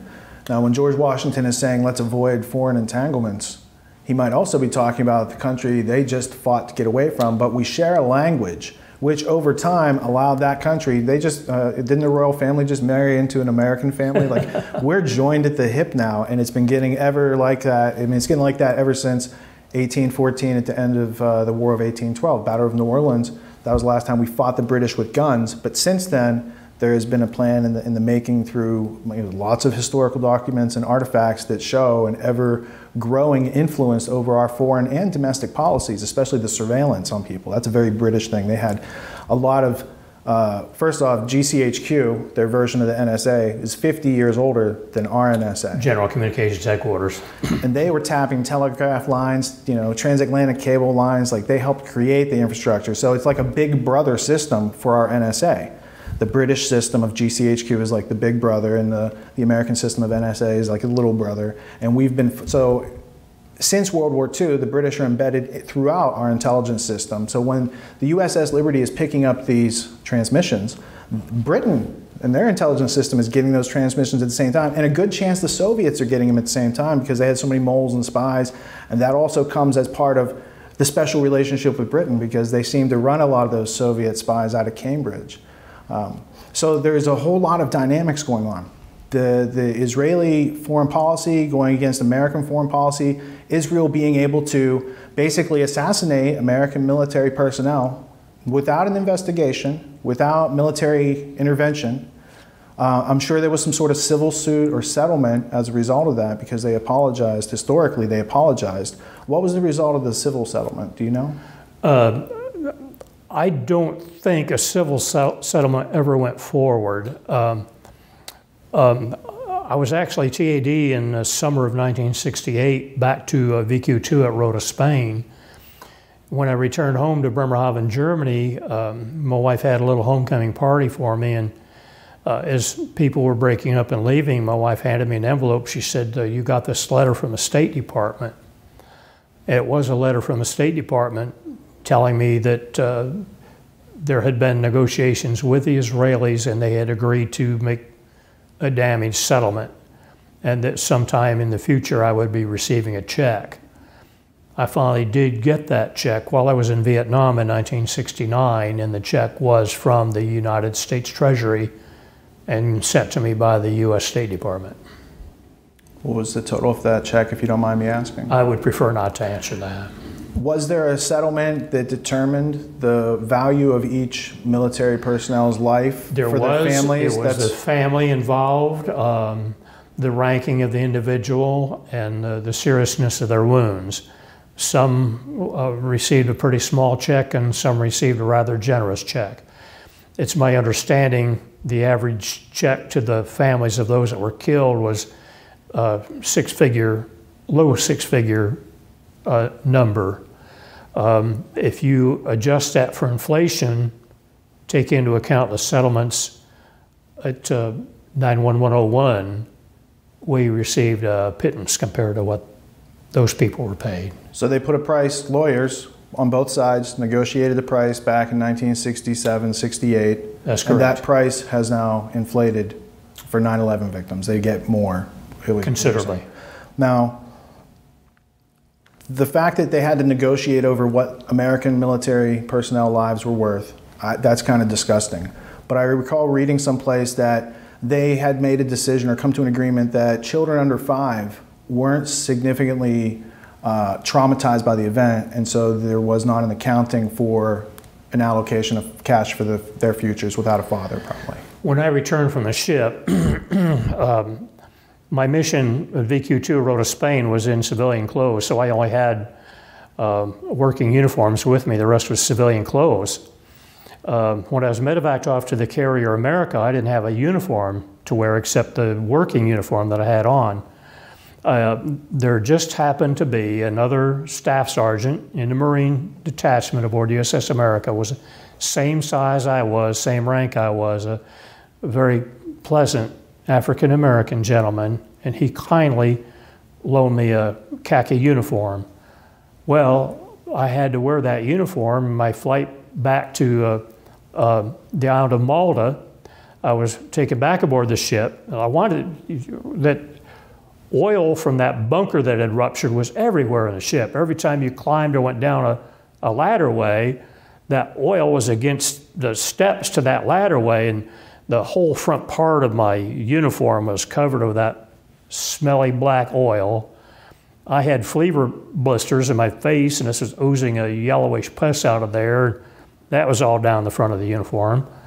I had to wear that for two days, two full days. Then I got orders to uh, return to my home base in Bremerhaven, still wearing the same uniform.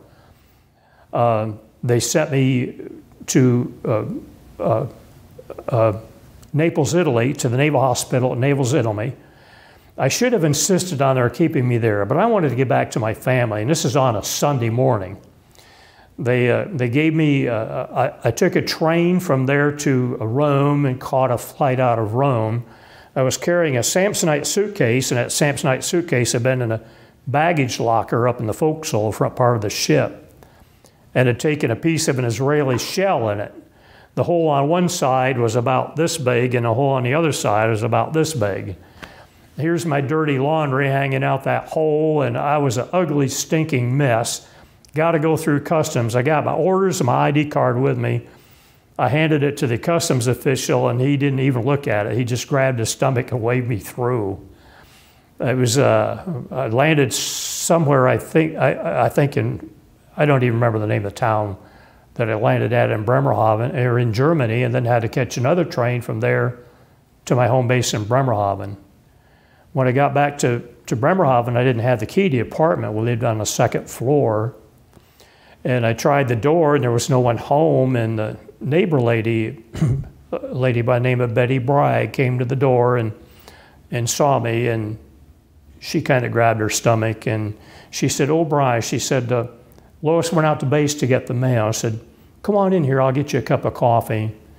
She sat me down over in the corner, and I didn't think anything about it, but it was away from the door, and got me a cup of coffee. And sometime later, she heard the car pull in. She said, Oh, here's Lois now. And she went out to the stairwell, and my wife and children climbed the stairwell, and Betty said, Lois, you need to come in here. My wife had just gotten a letter from her mother that her grandfather had passed away. My wife was closer to her grandmother than she was her own mother. There was a strained relationship between my wife and her mother. So this is just heart wrenching to her. And here's her husband with his face all blurred, fever blisters, stinking. My wife had just burst into tears. It was just beyond imagination for her.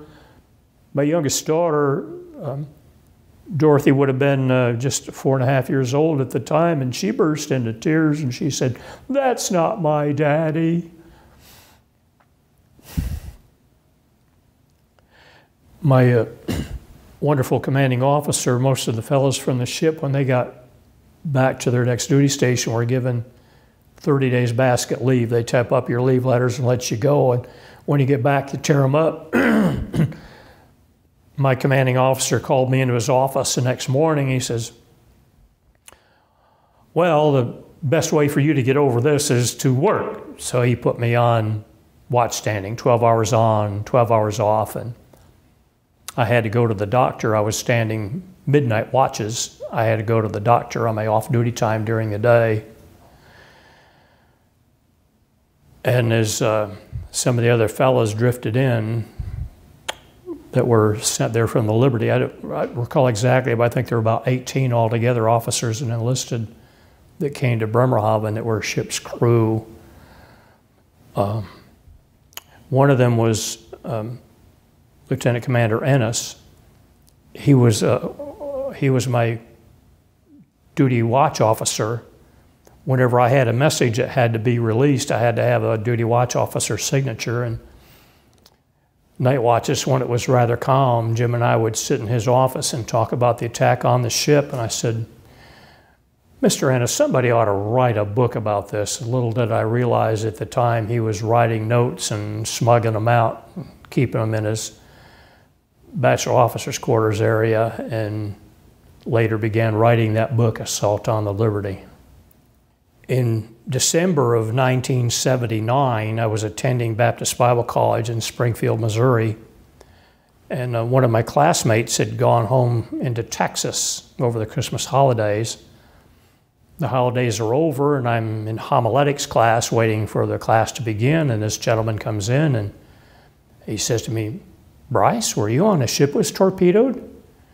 I said, How did you know about that? He said, Well, I was in Texas over the Christmas holidays and I was returning home. It was late at night and I was listening to National Public Radio and there was a program titled uh, Radio Reader. And the gentleman was reading Jim Ennes's book, Assault on the Liberty. And it was that portion of the chapter, Torpedo Attack, where my events of the day were narrated. And so I knew the book existed, but it wasn't until I graduated and um, later uh, was given a position as assistant pastor at a Baptist church in Key West, Florida. One of the members of the congregation was the librarian at the public library, and so I asked her if she knew about that book. She said, Yes, we have that book. She said, There's a pretty lengthy waiting list. I said, Well, please put my name on the waiting list. Well, it was better than two months before I got the book, but uh, I immediately wrote a letter to the publishers, it was Random House Publishers, and told them that I'd like to get in touch with the author, Jim Ennes. They sent me back a very nice letter and said, We have forwarded your letter to Mr. Ennes. Well, it was only about 10 days or so after that, I got a big, thick letter from Mr. Ennes, and it had copies of the newsletters that he had copied off for me and uh, phone numbers for crew members. And I immediately got on the phone. I called Lieutenant Painter in Texas and I called Mr. Ennes and I visited with him. And I tried to contact some of the families of men that worked for me that were killed. And um, it was just an emotional, emotional time. Richard Larry Weaver was part of the deck crew and very seriously wounded with shrapnel in the air attacks. Larry Weaver was a picture of uh, physical ability.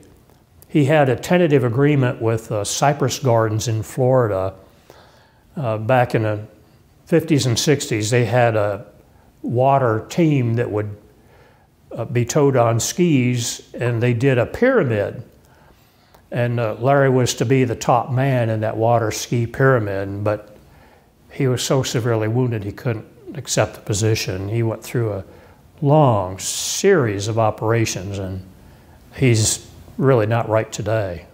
Now, the, the planes you referred to earlier, where they switched from nuclear to conventional weapons, were those carrier based planes? Were those fighters? Those were carrier based planes aboard the USS Saratoga. Okay, so they also had live nuclear ammunition on board during an exercise, they claimed to exercise, right? Because the Six Day War was going on for four or five days at this point. So it is a war zone, but it wasn't a war we were involved in. But only because of the Soviet specter on the other side that we had to have live armaments of a nuclear variety on our, our planes. And I would think that the, the planes that were on the ready that had nuclear weapons were in case there was an actual war going on. Okay uh, that involved the Soviets. My, my, my belief is that that would have been disconnected from a so called nuclear exercise. Right. They would have been there on the ready in case of war. Right. Fully equipped. In my opinion, there were probably three different excuses. Number one was the brutal murdering of prisoners of war. This is a very serious war crimes charge. Number two was the perceived attack on Golan Heights, which would be in violation of the tacit agreement between the Johnson administration and the Israeli government not to attack Golan Heights. Uh, number three is the one that raises the largest question. When Lyndon Johnson came on the air and said, Get those aircraft back, I will not have my allies embarrassed. How did he know his allies were attacking us since they were using unmarked aircraft? Is there a possibility that he knew that he set us up for this attack? To blame Egypt and use that as an excuse for Americans' interjection into the war. That would be three very serious reasons. Well, with respect to reason three, that plan of, as you said, blaming it on the Egyptians, using it as a casus belli to get into the war, that sounds a lot like the Northwoods document from 1963 that L.L. Lemnitzer put out there, where they suggested doing very similar tactics to Cuba. Was So the USS motive- Oxford involved? Motive, opportunity, these sort of things fall into line if you ask that question. Uh, that conversation was in the White House between um, General uh, David M. Shoup, who was a Marine Corps commandant, and Lemnitzer, and that's on tape. And uh, this is painful to me because I, I really looked up to David Shoup. He was not only the commandant of the Marine Corps, he was also recipient of the Medal of Honor from the Pacific battles in World War II. And here they are talking about setting up the USS Oxford as a scapegoat for getting the U.S. involved during the Cuban Missile Crisis. Those type of tactics are absent from U.S. intelligence history until after we start the special relationship with Great Britain. But it seems that those tactics have a history in their, their war history. Like there's a trend of that in their military history. Not only theirs, but ours. Right. Now it's an adopted tactic that is used, just like um, foreign intervention, which kind of came in in 1898 with the Spanish American War. It was uh, Rudyard Kipling who, who said uh, it was called The White Man's Burden, a, a, poem he wrote about America's responsibility to get behind this English speaking British Empire and to, to rejoin. That was a, a, one of the beginning attempts to ameliorate America back into the British Empire, and it's gone on since then. What do you? Rudyard Kipling also warned us about involvement with Afghanistan. Um, he wrote, a, uh, I believe, a narrative poem about it, liking the Soviet Union to a bear, and the individual being representative of Great Britain. And when I turned my head, the bear took off my head. When I turned my back, the bear took off my head. Yeah, Kipling has a lot of, you know, he wrote the book uh, Kim, which is a spy novel that is used uh, to train spies' memories, keep in memory. So it's like a, so there's a whole lot to Kipling from a British perspective that Americans, we just think he writes a Jungle Book and kids, kids Yes. stories.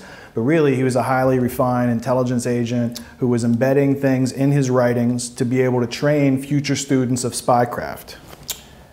Very brilliant individual. Very brilliant. What colors was the USS Liberty flying that day? Uh, Liberty was flying the U.S. flag, standard procedure.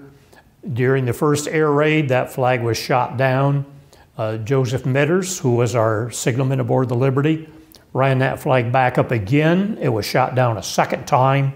That's the one that's pictured both in the book Assault on the Liberty and on the back of my business card. The third flag that was run up was the holiday flag.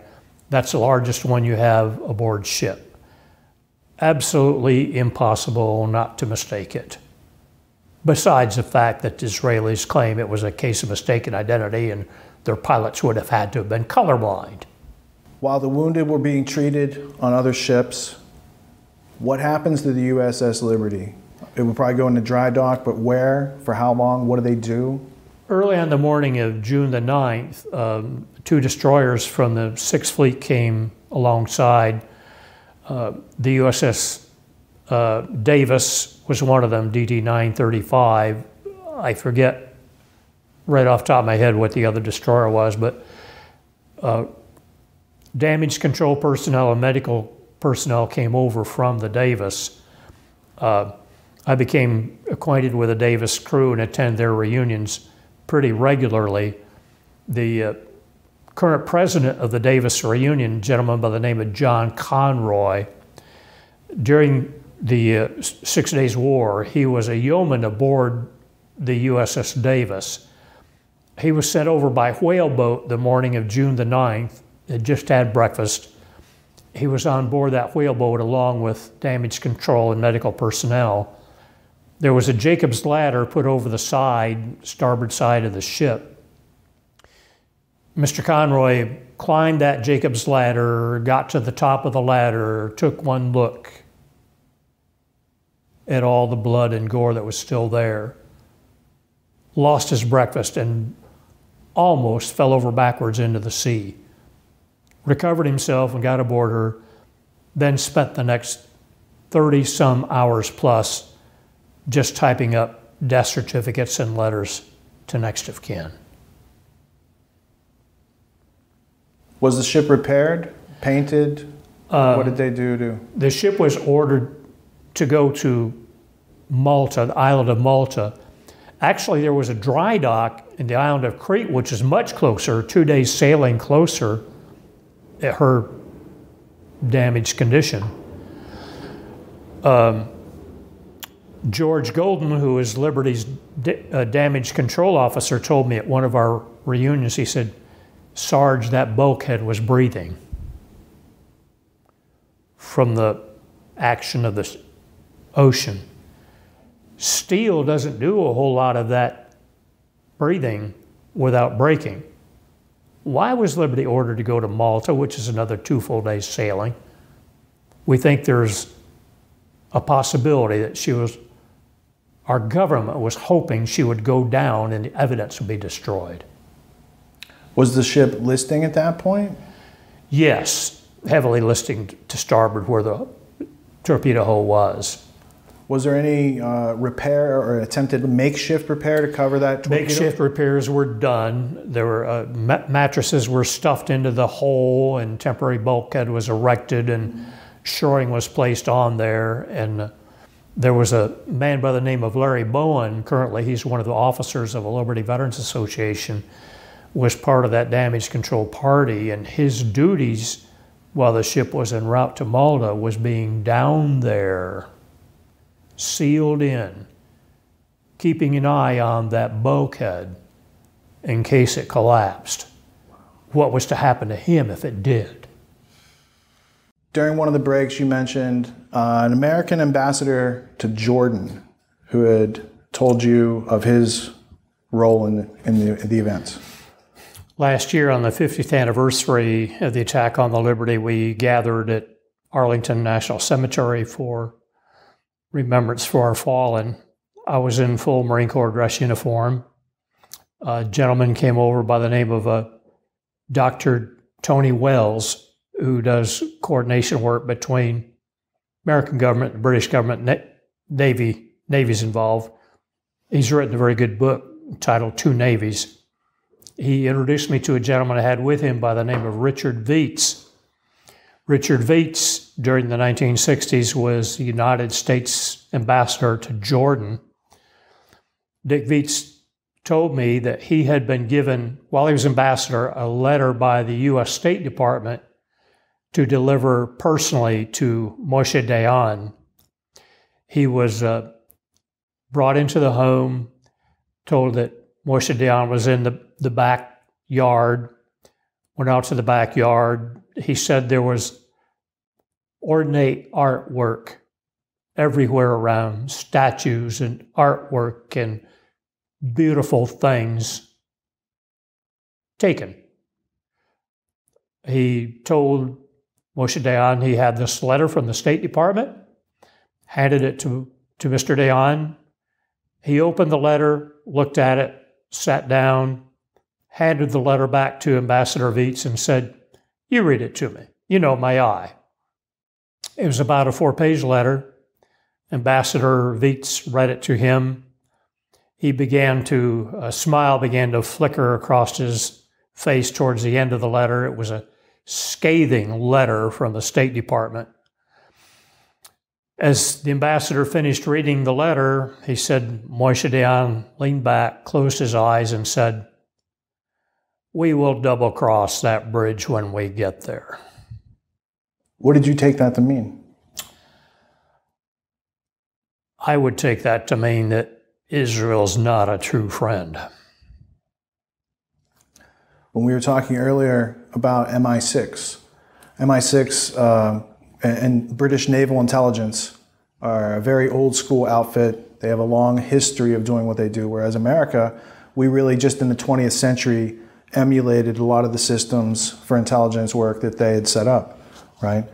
Um, they had during World War II what the uh, chief of MI6, John Cecil Masterman, called a double cross system, which was a covert system of intelligence that ran parallel to the external system of intelligence. So it's like a, a compartmentalized, super top secret relationship and circulation of information that comes from spying on their allies. Britain has spied on their ally America for a long time. Israel has made America a target many times, and I'm sure America spies on, on its allies as well, because that's how the game is played, right? Um, the double cross system is definitely relevant to that thread of history, especially with the, the Cold War originally starting from the Great Game, and then during the Cold War they called it the New Great Game, right? Um, that is what they've been playing, I think, and that plays into the USS Liberty attack. Attack. Absolutely, because those special relationships are based on national security, and national security is secrets that are they're in the shape of lies because they can't tell you the truth about those events. So, what role do you think national security plays in the overall lack of response, lack of investigation, lack of any type of justice in that situation? It seems to me like we were the sacrificial lamb for the relationship between the Israeli government and the U.S. government, which to me is maddening. How do you feel about all the families that, that didn't get their, their loved one back because of that attack? I made up my mind back in the 1980s I was going to look up the families of all those that worked for me that were killed, and I did so. Um, Jim Ennes sent me a copy of an article from the Newsweek magazine back, uh, I think, about 1986, 1987, that was about. Uh, Tommy Thornton, one of the French linguists that worked for me, who was killed.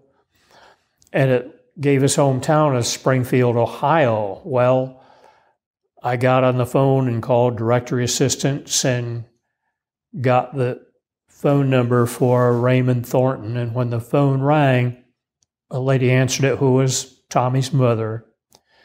And she said, Oh, Ray, come quickly. This is Tommy's supervisor from the USS Liberty um, we became pretty close. We wrote letters back and forth together with, unfortunately, shortly after that conversation, uh, Ray Thornton passed away. And then within the past few years, Mrs. Thornton also passed away. But I was able to go to Maplewood Cemetery there in Springfield, Ohio with Tommy's mom and held her as she wept, and I wept over the grave of her son. Likewise with uh, Eddie Rehmeyer, Corporal Eddie Rehmeyer. He was from uh, small town Railroad, Pennsylvania. And um, I had didn't realize where he was from. I'm working for a grocery company. I have to be to work at midnight and I can't sleep. I got up and got out my scrapbook with all my notes from the USS Liberty and letters and so forth that I had. And among that was a newsletter from the USS America that gave the hometowns of those who were killed. I don't remember seeing that before, but listed Ed Rehmeyer's hometown is Railroad, Pennsylvania. So I got on the phone, called directory assistance, and asked for uh, Edward Rehmeyer. And the operator said, I really wanted to look her up and profusely thank her. She said, I don't have anyone listed in Railroad, Pennsylvania by that name, but there is a Rehmeyer listed in Shrewsbury, Pennsylvania. And when I dialed the phone number, Eddie Rehmeyer's mom, Virginia Raymar, answered the phone and said pretty much the same thing. Oh, speed, come quickly. It's Eddie's supervisor from the USS Liberty. And I was crying so hard I could barely carry out a conversation, but we became pretty close. And there again, uh, Virginia came down with Alzheimer's and passed away about six years or so ago. And then Eddie's dad ran a produce business in Shrewsbury, Pennsylvania. And he um, he was a heavy smoker through the years, and unfortunately came down with cancer. But he lived, I think, into his 90s, and he just passed away about a year ago. I'm sure for a lot of these families, you can never get over turmoil like that. So in one way, their passing eases that that cruel and unusual torture of having a loved one killed and not having it brought to justice. Um, uh, Carl Nygren, that worked for me, Carl's family was from uh, Delaware County, New York, Andes, New York. Um, I didn't find out there again until much later that he was from Andes. I ran his family down also in uh, Delaware County, New York, was homesteaded by my mother's ancestors back in the 17th century. There again, we became pretty close. His mom just passed away about two years ago. Uh, she was a colorful lady. She was in the Women's Coast Guard during World War II. And uh, actually, up until she was approaching her 90s, she would always walk in the Memorial Day parade with her uniform that she could still wear from World War II. I was going to ask about your motivation, what makes you and drives you and inspires you to continue going out and spreading this message. But I think what you just described is a healing process. You're searching for justice, but there's also a healing process there that goes on through reaching out and looking these people up and trying to get in touch with them. Well, you could call it what you like, healing process or whatever. I want to see justice done for the USS Liberty. Constitution requires Congress to do their duty. They have not done so. What's like an untreated wound? It hasn't yes. been triaged, it hasn't been treated, it hasn't been healed. Festering. 51 years. What can be done now that hasn't been done in the past 51 years to bring liberty and justice? I wish I knew the answer to that. I've tried my best to twist arms of congressmen my dad's sister, uh, Edna Hanson, went to Henry's restaurant in the little town of Afton, New York, where I graduated from high school. Sat down in Henry's restaurant and collected well over 200 signatures calling on Congress to investigate the attack on the USS Liberty. Uh, her congressperson at that time, I think his name was uh, Sherwood Boehlert. I may not have that exactly correct, but I think that's pretty close wrote her a very nice letter back that he would look into it. Never did a thing. I think pretty much what is happening throughout the rest of the people that have written letters to the congressman. Yeah, we'll look into it. Never do. Hope it just goes away. Well, the inaction of the past 51 years brings us to the topic of the American Legion resolution. Now, this requires a little bit of reading on my part, so if you'll pardon my spectacles. Can you tell us about American Legion Resolution 2017-40, which calls on the U.S. Congress to publicly, impartially, and thoroughly investigate the attack on the USS Liberty and its aftermath? The American Legion is the largest military veterans organization in the United States, and that's quite a large force to have behind you. So my question is, how did the resolution originate and make it to the National Convention of the American Legion for a vote? There's a young woman by the name of uh, Michelle Finucane, um, Seattle, Washington. During the 80s, Michelle was in the U.S. Coast Guard. She was assigned aboard a buoy tender. She was en route to the South Pacific with this buoy tender. They stopped off in Pearl Harbor on the way out there, and she's going through some of the military memorabilia at Pearl Harbor and came across a picture of the USS Liberty and some brief statements about it and tweaked her imagination. When she got to Guam, where the buoy tender was ported, she started doing some digging and reading onto it. Years later, after she got out of the Coast Guard, she decided she wanted to do something about it. In uh, 2017, the Washington State Department of the American Legion passed a resolution under her leadership to investigate the attack on the USS Liberty. The resolution was done very expertly, very expertly. Uh, Michelle contacted the president of our USS Liberty Veterans Association asking if someone could usher that resolution through the American Legion Convention. We had had an unpleasant experience in 2012 with the American Legion in Indianapolis, Indiana. Uh, were literally thrown out of the convention. Our chaplain for the USS Liberty Veterans Association was arrested for sexual assault. He didn't do anything nearly like that, but held in prison overnight. The next morning, the charges were dropped, and Glenn Oliphant, our chaplain, was released. But uh, the American Legion used that excuse for banning us. In fact, I have a letter in my phone this year where the American Legion returned our check for a booth at this year's 100th centennial of the American Legion, uh, returning our check and telling us we were not welcome. Uh, because of that experience, Ernie Gallo, our president, said he didn't want to do anything about it, but if any of the other members would be interested, they could do so. Well, somehow through email, I came in contact with Michelle, and she asked me if I'd be willing to go to the convention. I said, I really can't afford it. She said, If I raise you the money, will you go? And I said, Yeah, I'll go.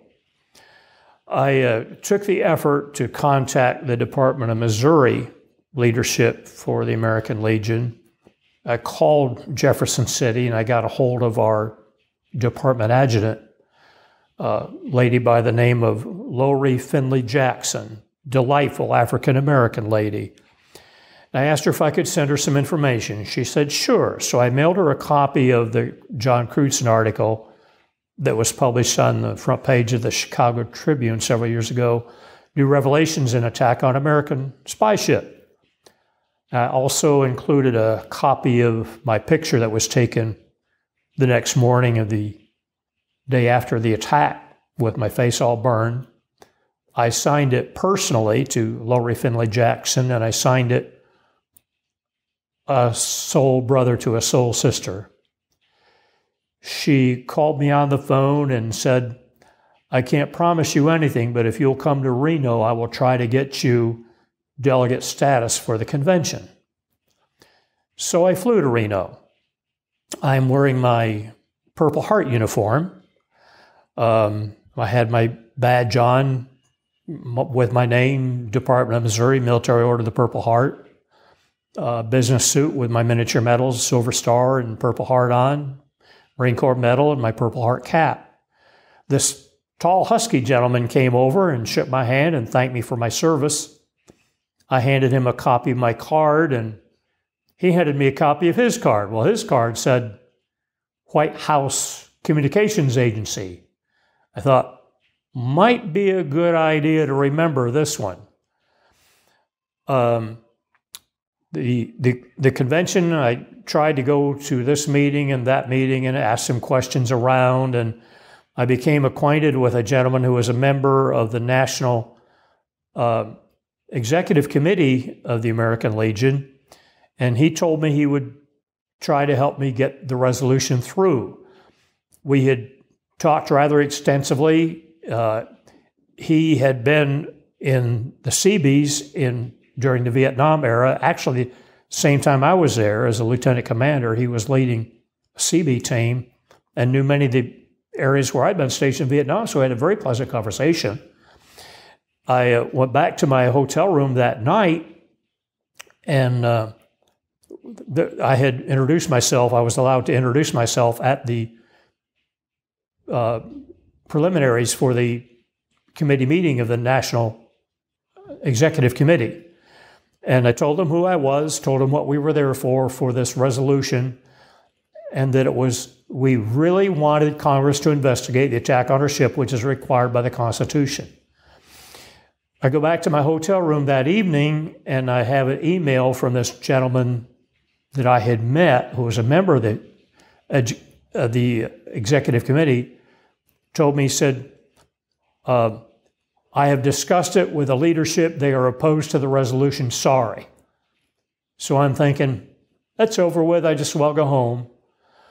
I'm sitting in a hotel room and my cell phone rings and it's Michelle Finucane. I told her what had transpired and I was going to go ahead and head home. She literally shamed me into staying for the convention. I thought, well, what am I going to do? Well, I'll try and do what I can. Um, on the way back to the hotel, I had met a gentleman by the name of Kerry Kellett, who was, I, I just happened to sit down next to him on the bus taking us back to the hotel. Kerry was a Department of Missouri commander for the American Legion. We visited a few moments on the bus back, and he said, Let's go to Starbucks and get something to drink, drink and we'll talk about it. So we went back to Starbucks and I bought a couple of Cokes. And he said, What you need to do is you need to go to the uh, National Security Committee meeting Sunday morning. Let them know what you were there for and ask them if you can have a, a moment to speak. You will have to go to the Foreign Affairs Subcommittee meeting, do the same thing there, ask for a brief moment to speak. So early Sunday morning, I got the bus, went over to the convention center, and went into the room which was scheduled for the National Security Committee meeting. There's a long table with several places for members. There was one gentleman standing there, went over and introduced myself, and his name was uh, Bill Schley. He was the chairman for the National Security Committee. Um, I told him what I was there for, handed him my business card, handed him a copy of my picture that was taken the next morning. And his eyes got big as saucers, and he said, Would you let me have another one of your cards? And I did so, and he said, I will give this to uh, uh, Bill uh, Flanagan, who is the chair for the Foreign Affairs Subcommittee meeting. He said, You'll have to go into the committee meeting, ask him to briefly speak if he'll let you do that, and state your position. So I did so. I, I got in there, and um, Mr. Flanagan already knew who I was. Um, he probably spent at least five minutes telling me I only had three minutes to state our position. He read the resolution, stated the Legion leadership recommends a rejection of this motion. We believe that passing this resolution would lead to fringe groups using it to try to reshape American foreign policy in the Middle East. I had a speech prepared. I said, This is not about anti Semitism. This is not about being anti Jewish. This is about a foreign country who has deliberately attacked a United States ship on the high seas in violation of international law and has made an attempt to cover it up as a case of mistaken identity. The only thing we want is for Congress to do their duty to fully and fairly investigate the attack and sat down. Um, the chairman said, What will you do with this resolution? A gentleman by the name of Roger Norfolk, who was the delegate from the state of Iowa, immediately jumped to his feet and said, I make the motion the resolution be accepted. And there were about three voice seconds made. There was a delegate there from the state of Washington. I don't remember his last name, and his first name was Bill. He jumped to his feet and he said, I make the motion the resolution be withdrawn. Well, this puts the chair in a awkward position there's already a motion on the floor, approved and seconded. He said, Your motion is out of order. We must vote on this resolution first? Is there any discussion? I don't recall there being any discussion, but he called for a voice vote. It was pretty obvious that it passed with voice vote. Someone said, I demand a show of hands. Show of hands was called for. There were 27 hands in favor of passing the resolution. There were 11 opposed to it. Motion has carried. This delegate from Washington jumps up and says, I make the motion, the resolution be withdrawn. I'm sorry, you are out of order. The resolution is passed. It must go to the full committee. Uh, we were given a break, went to the full committee. I'm sitting there and I hear someone behind me whisper, said, It's that guy up there that's got the purple heart hat on. I was oddball, I must admit, among all these American Legionnaires. But the chairman, uh, Mr. Schlee, brought up, Michael Schlee, brought up the motion, read the, read the resolution, and asked, What is your pleasure? And someone immediately jumped to their feet, said, I make the motion the resolution be accepted. There were several seconds. The same delegate from the state of Washington jumps up and says, I make the motion the resolution be withdrawn. Well, there was a legal representative there, young gentleman, uh, went over and whispered in Chairman Mike Schley's ear. I have no idea what he said, but he said, We have a motion on the floor which has been made and seconded. We must act on the motion. What is your pleasure? Is there any discussion? I don't recall there being any discussion. But he said, we must vote on the resolution. It was overwhelming voice, voice vote in favor of the resolution. Over and done. Now it has to go to the full floor.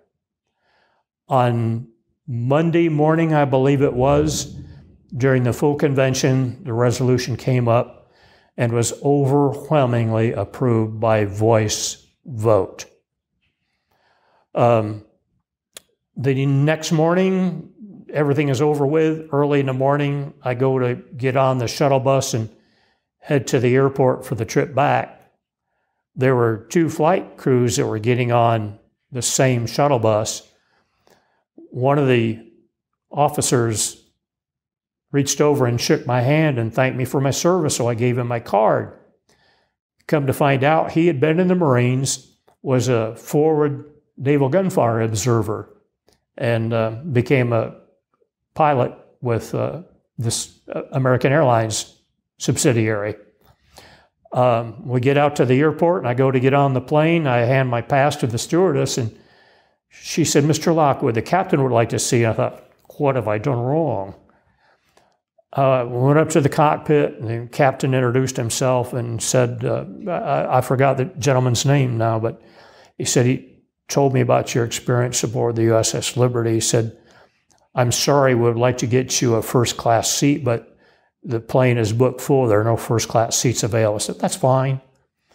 Took my seat, flew to Dallas, Dallas International Airport, got to change planes, get on this larger plane for my flight to Springfield, Missouri, and I'm going through the first class section.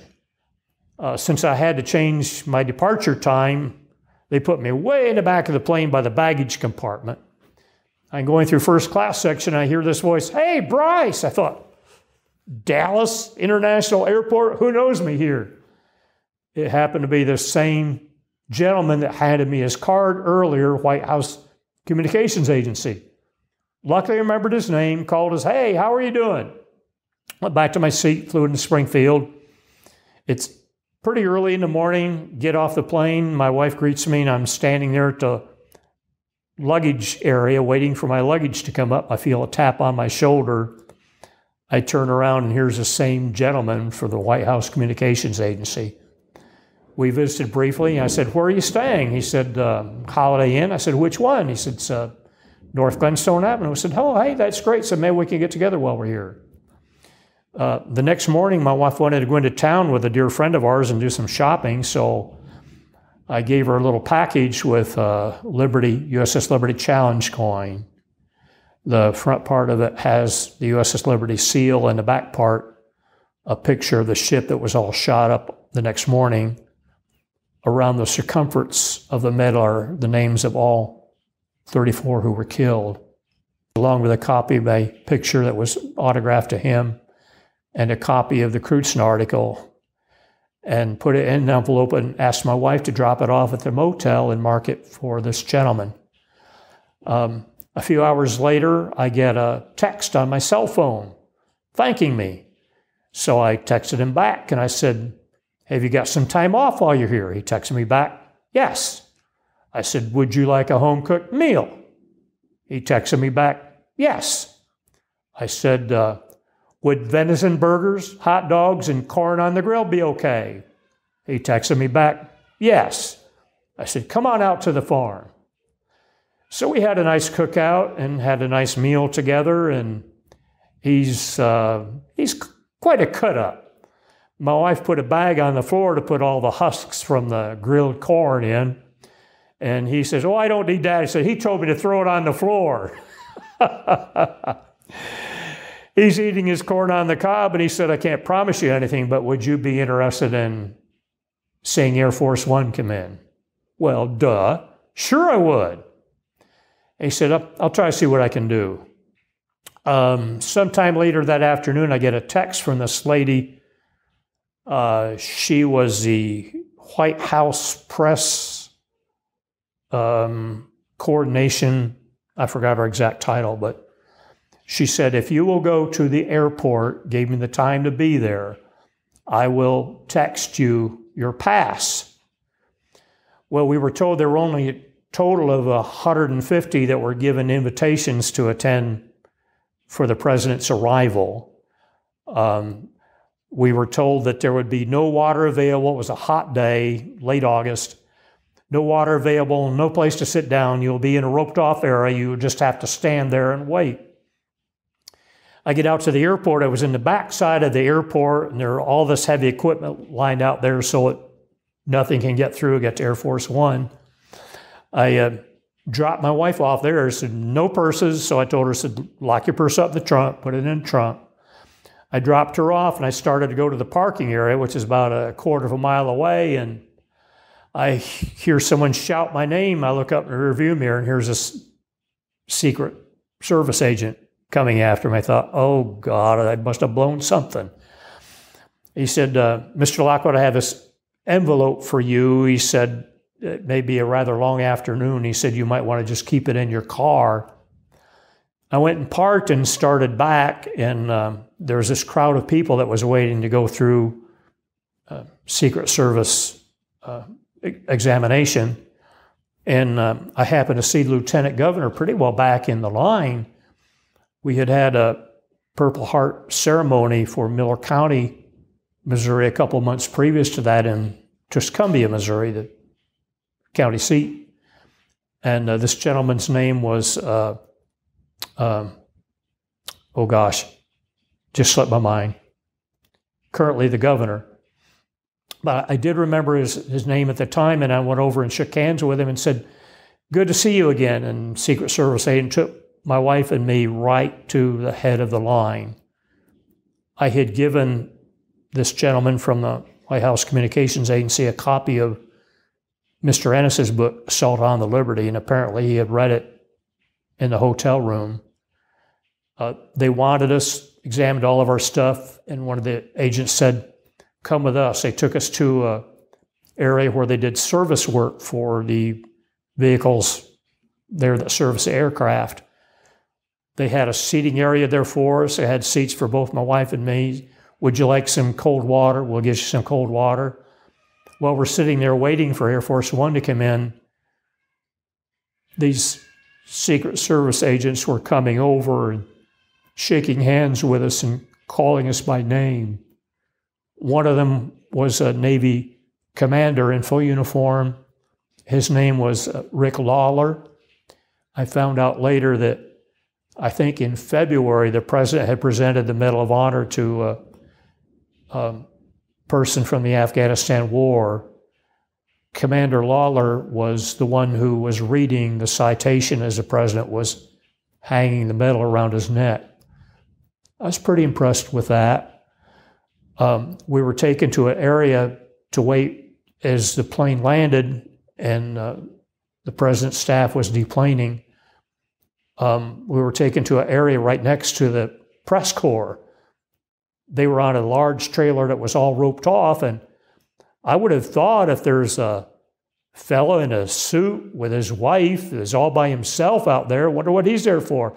It seems to me if I was member of the press corps, I'd want to know and ask some questions.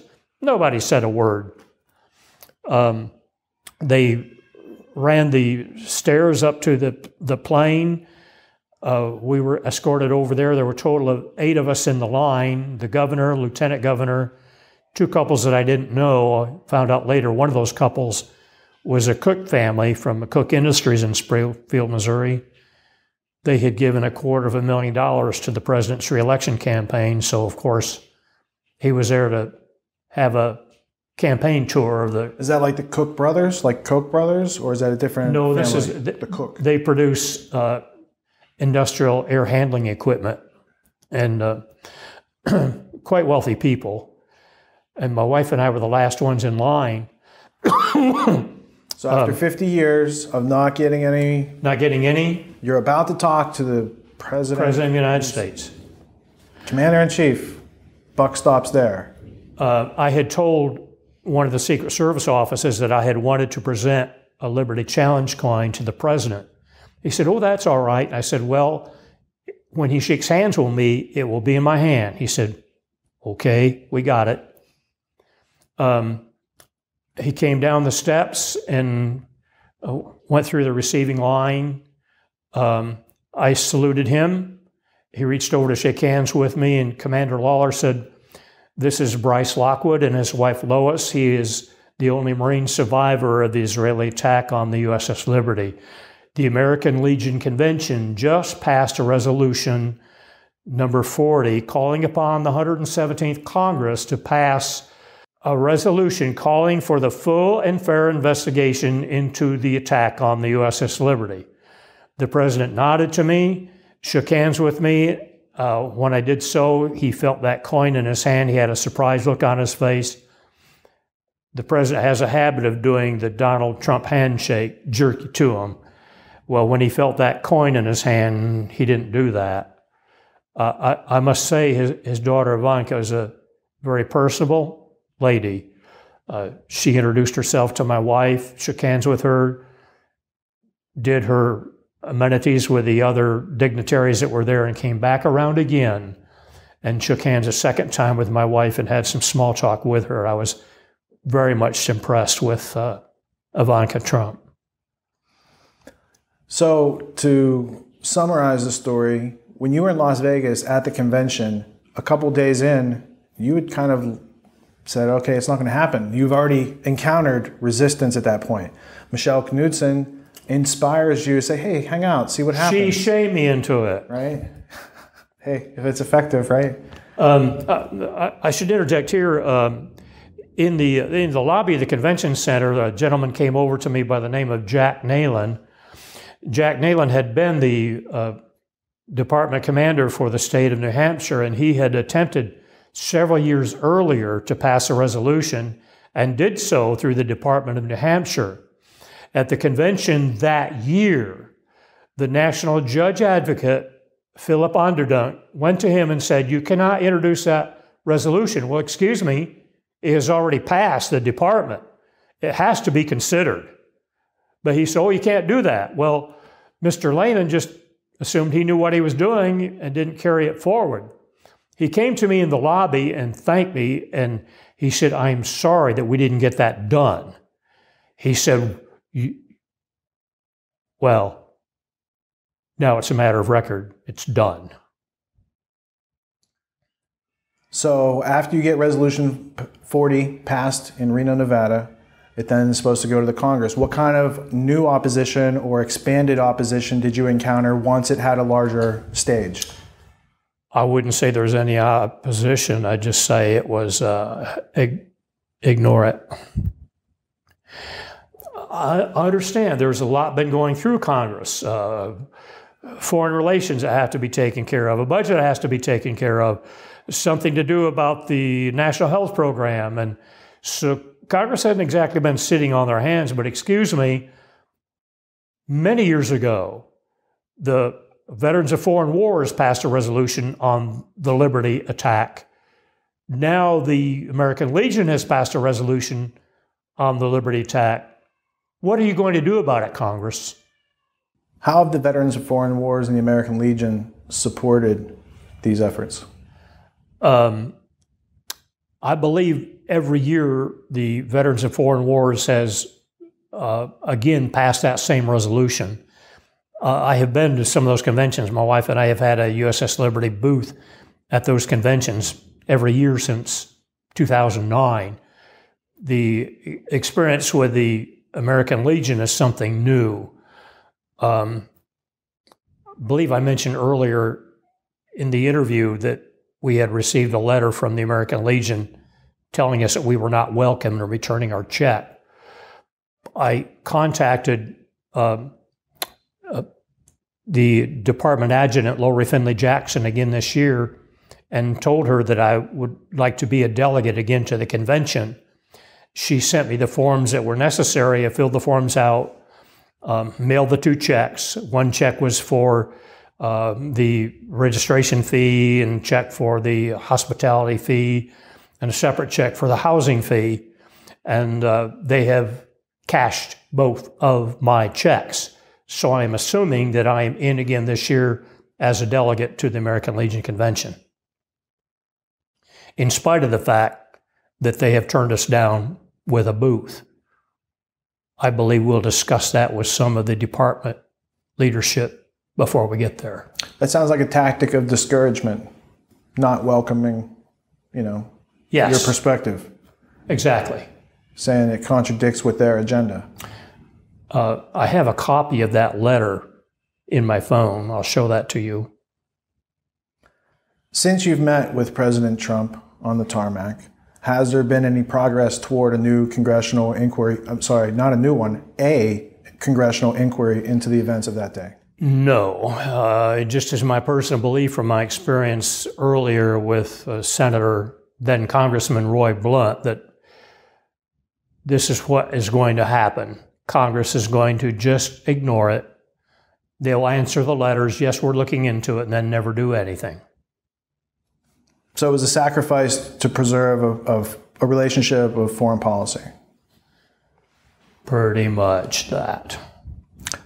Presently, we're in the 2018 midterm election, and with so many candidates running for election in U.S. Congress, um, in all 435 congressional districts across the nation, are there any public events in this country where prospective voters can educate themselves about the historicity of the town hall meetings would be the place to do that. People that are friendly to our cause go to the town hall meetings and confront the candidates and let them know that we have these resolutions passed by America's two largest veteran organizations.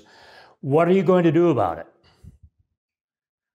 Does the American Legion or the USS Liberty Veterans Association have a plan in place for its members and supporters to get out during this election season and publicly reference and educate?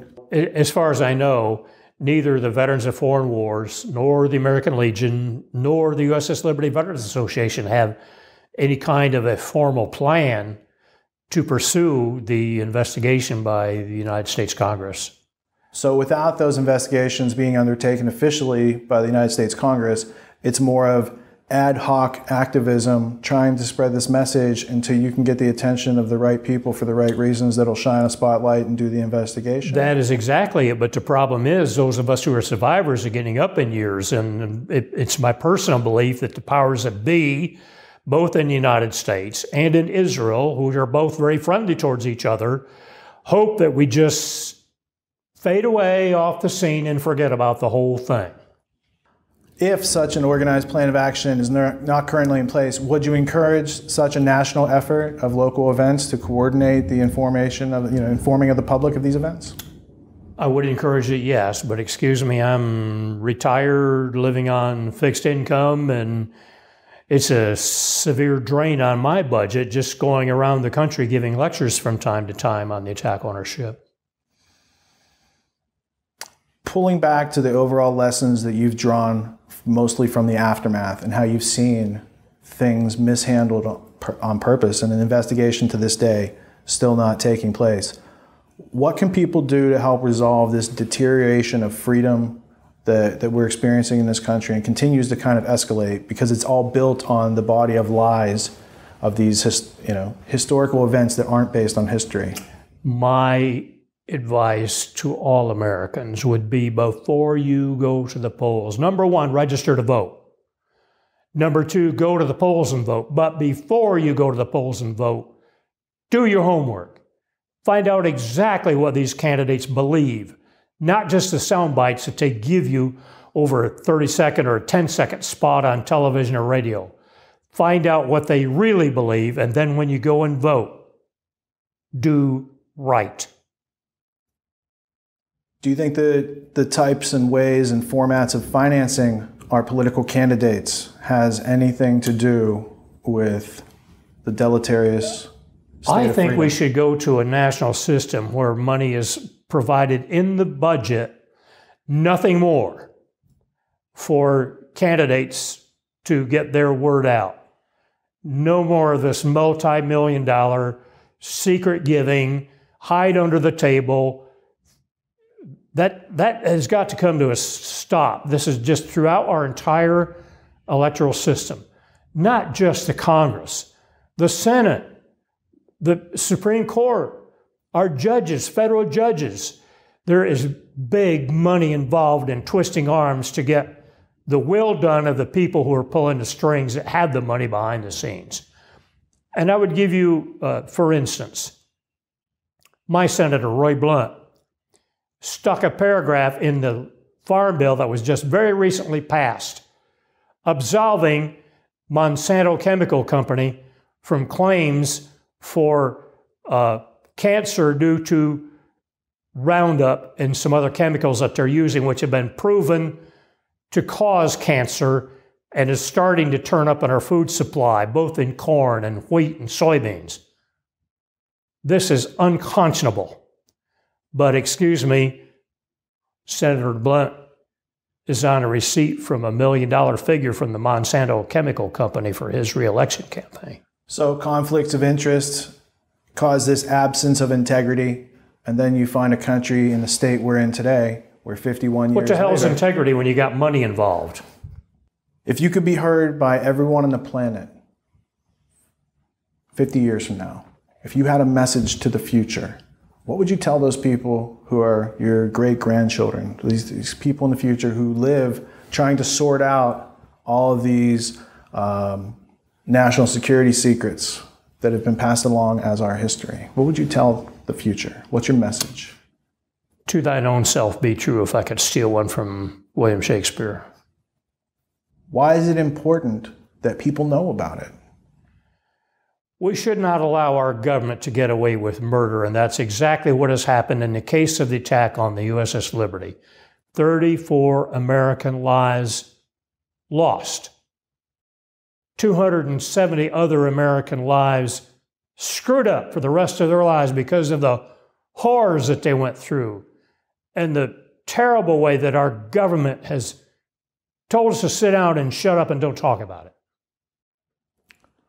What precedent does that set in relation to our foreign policy relationship with Israel?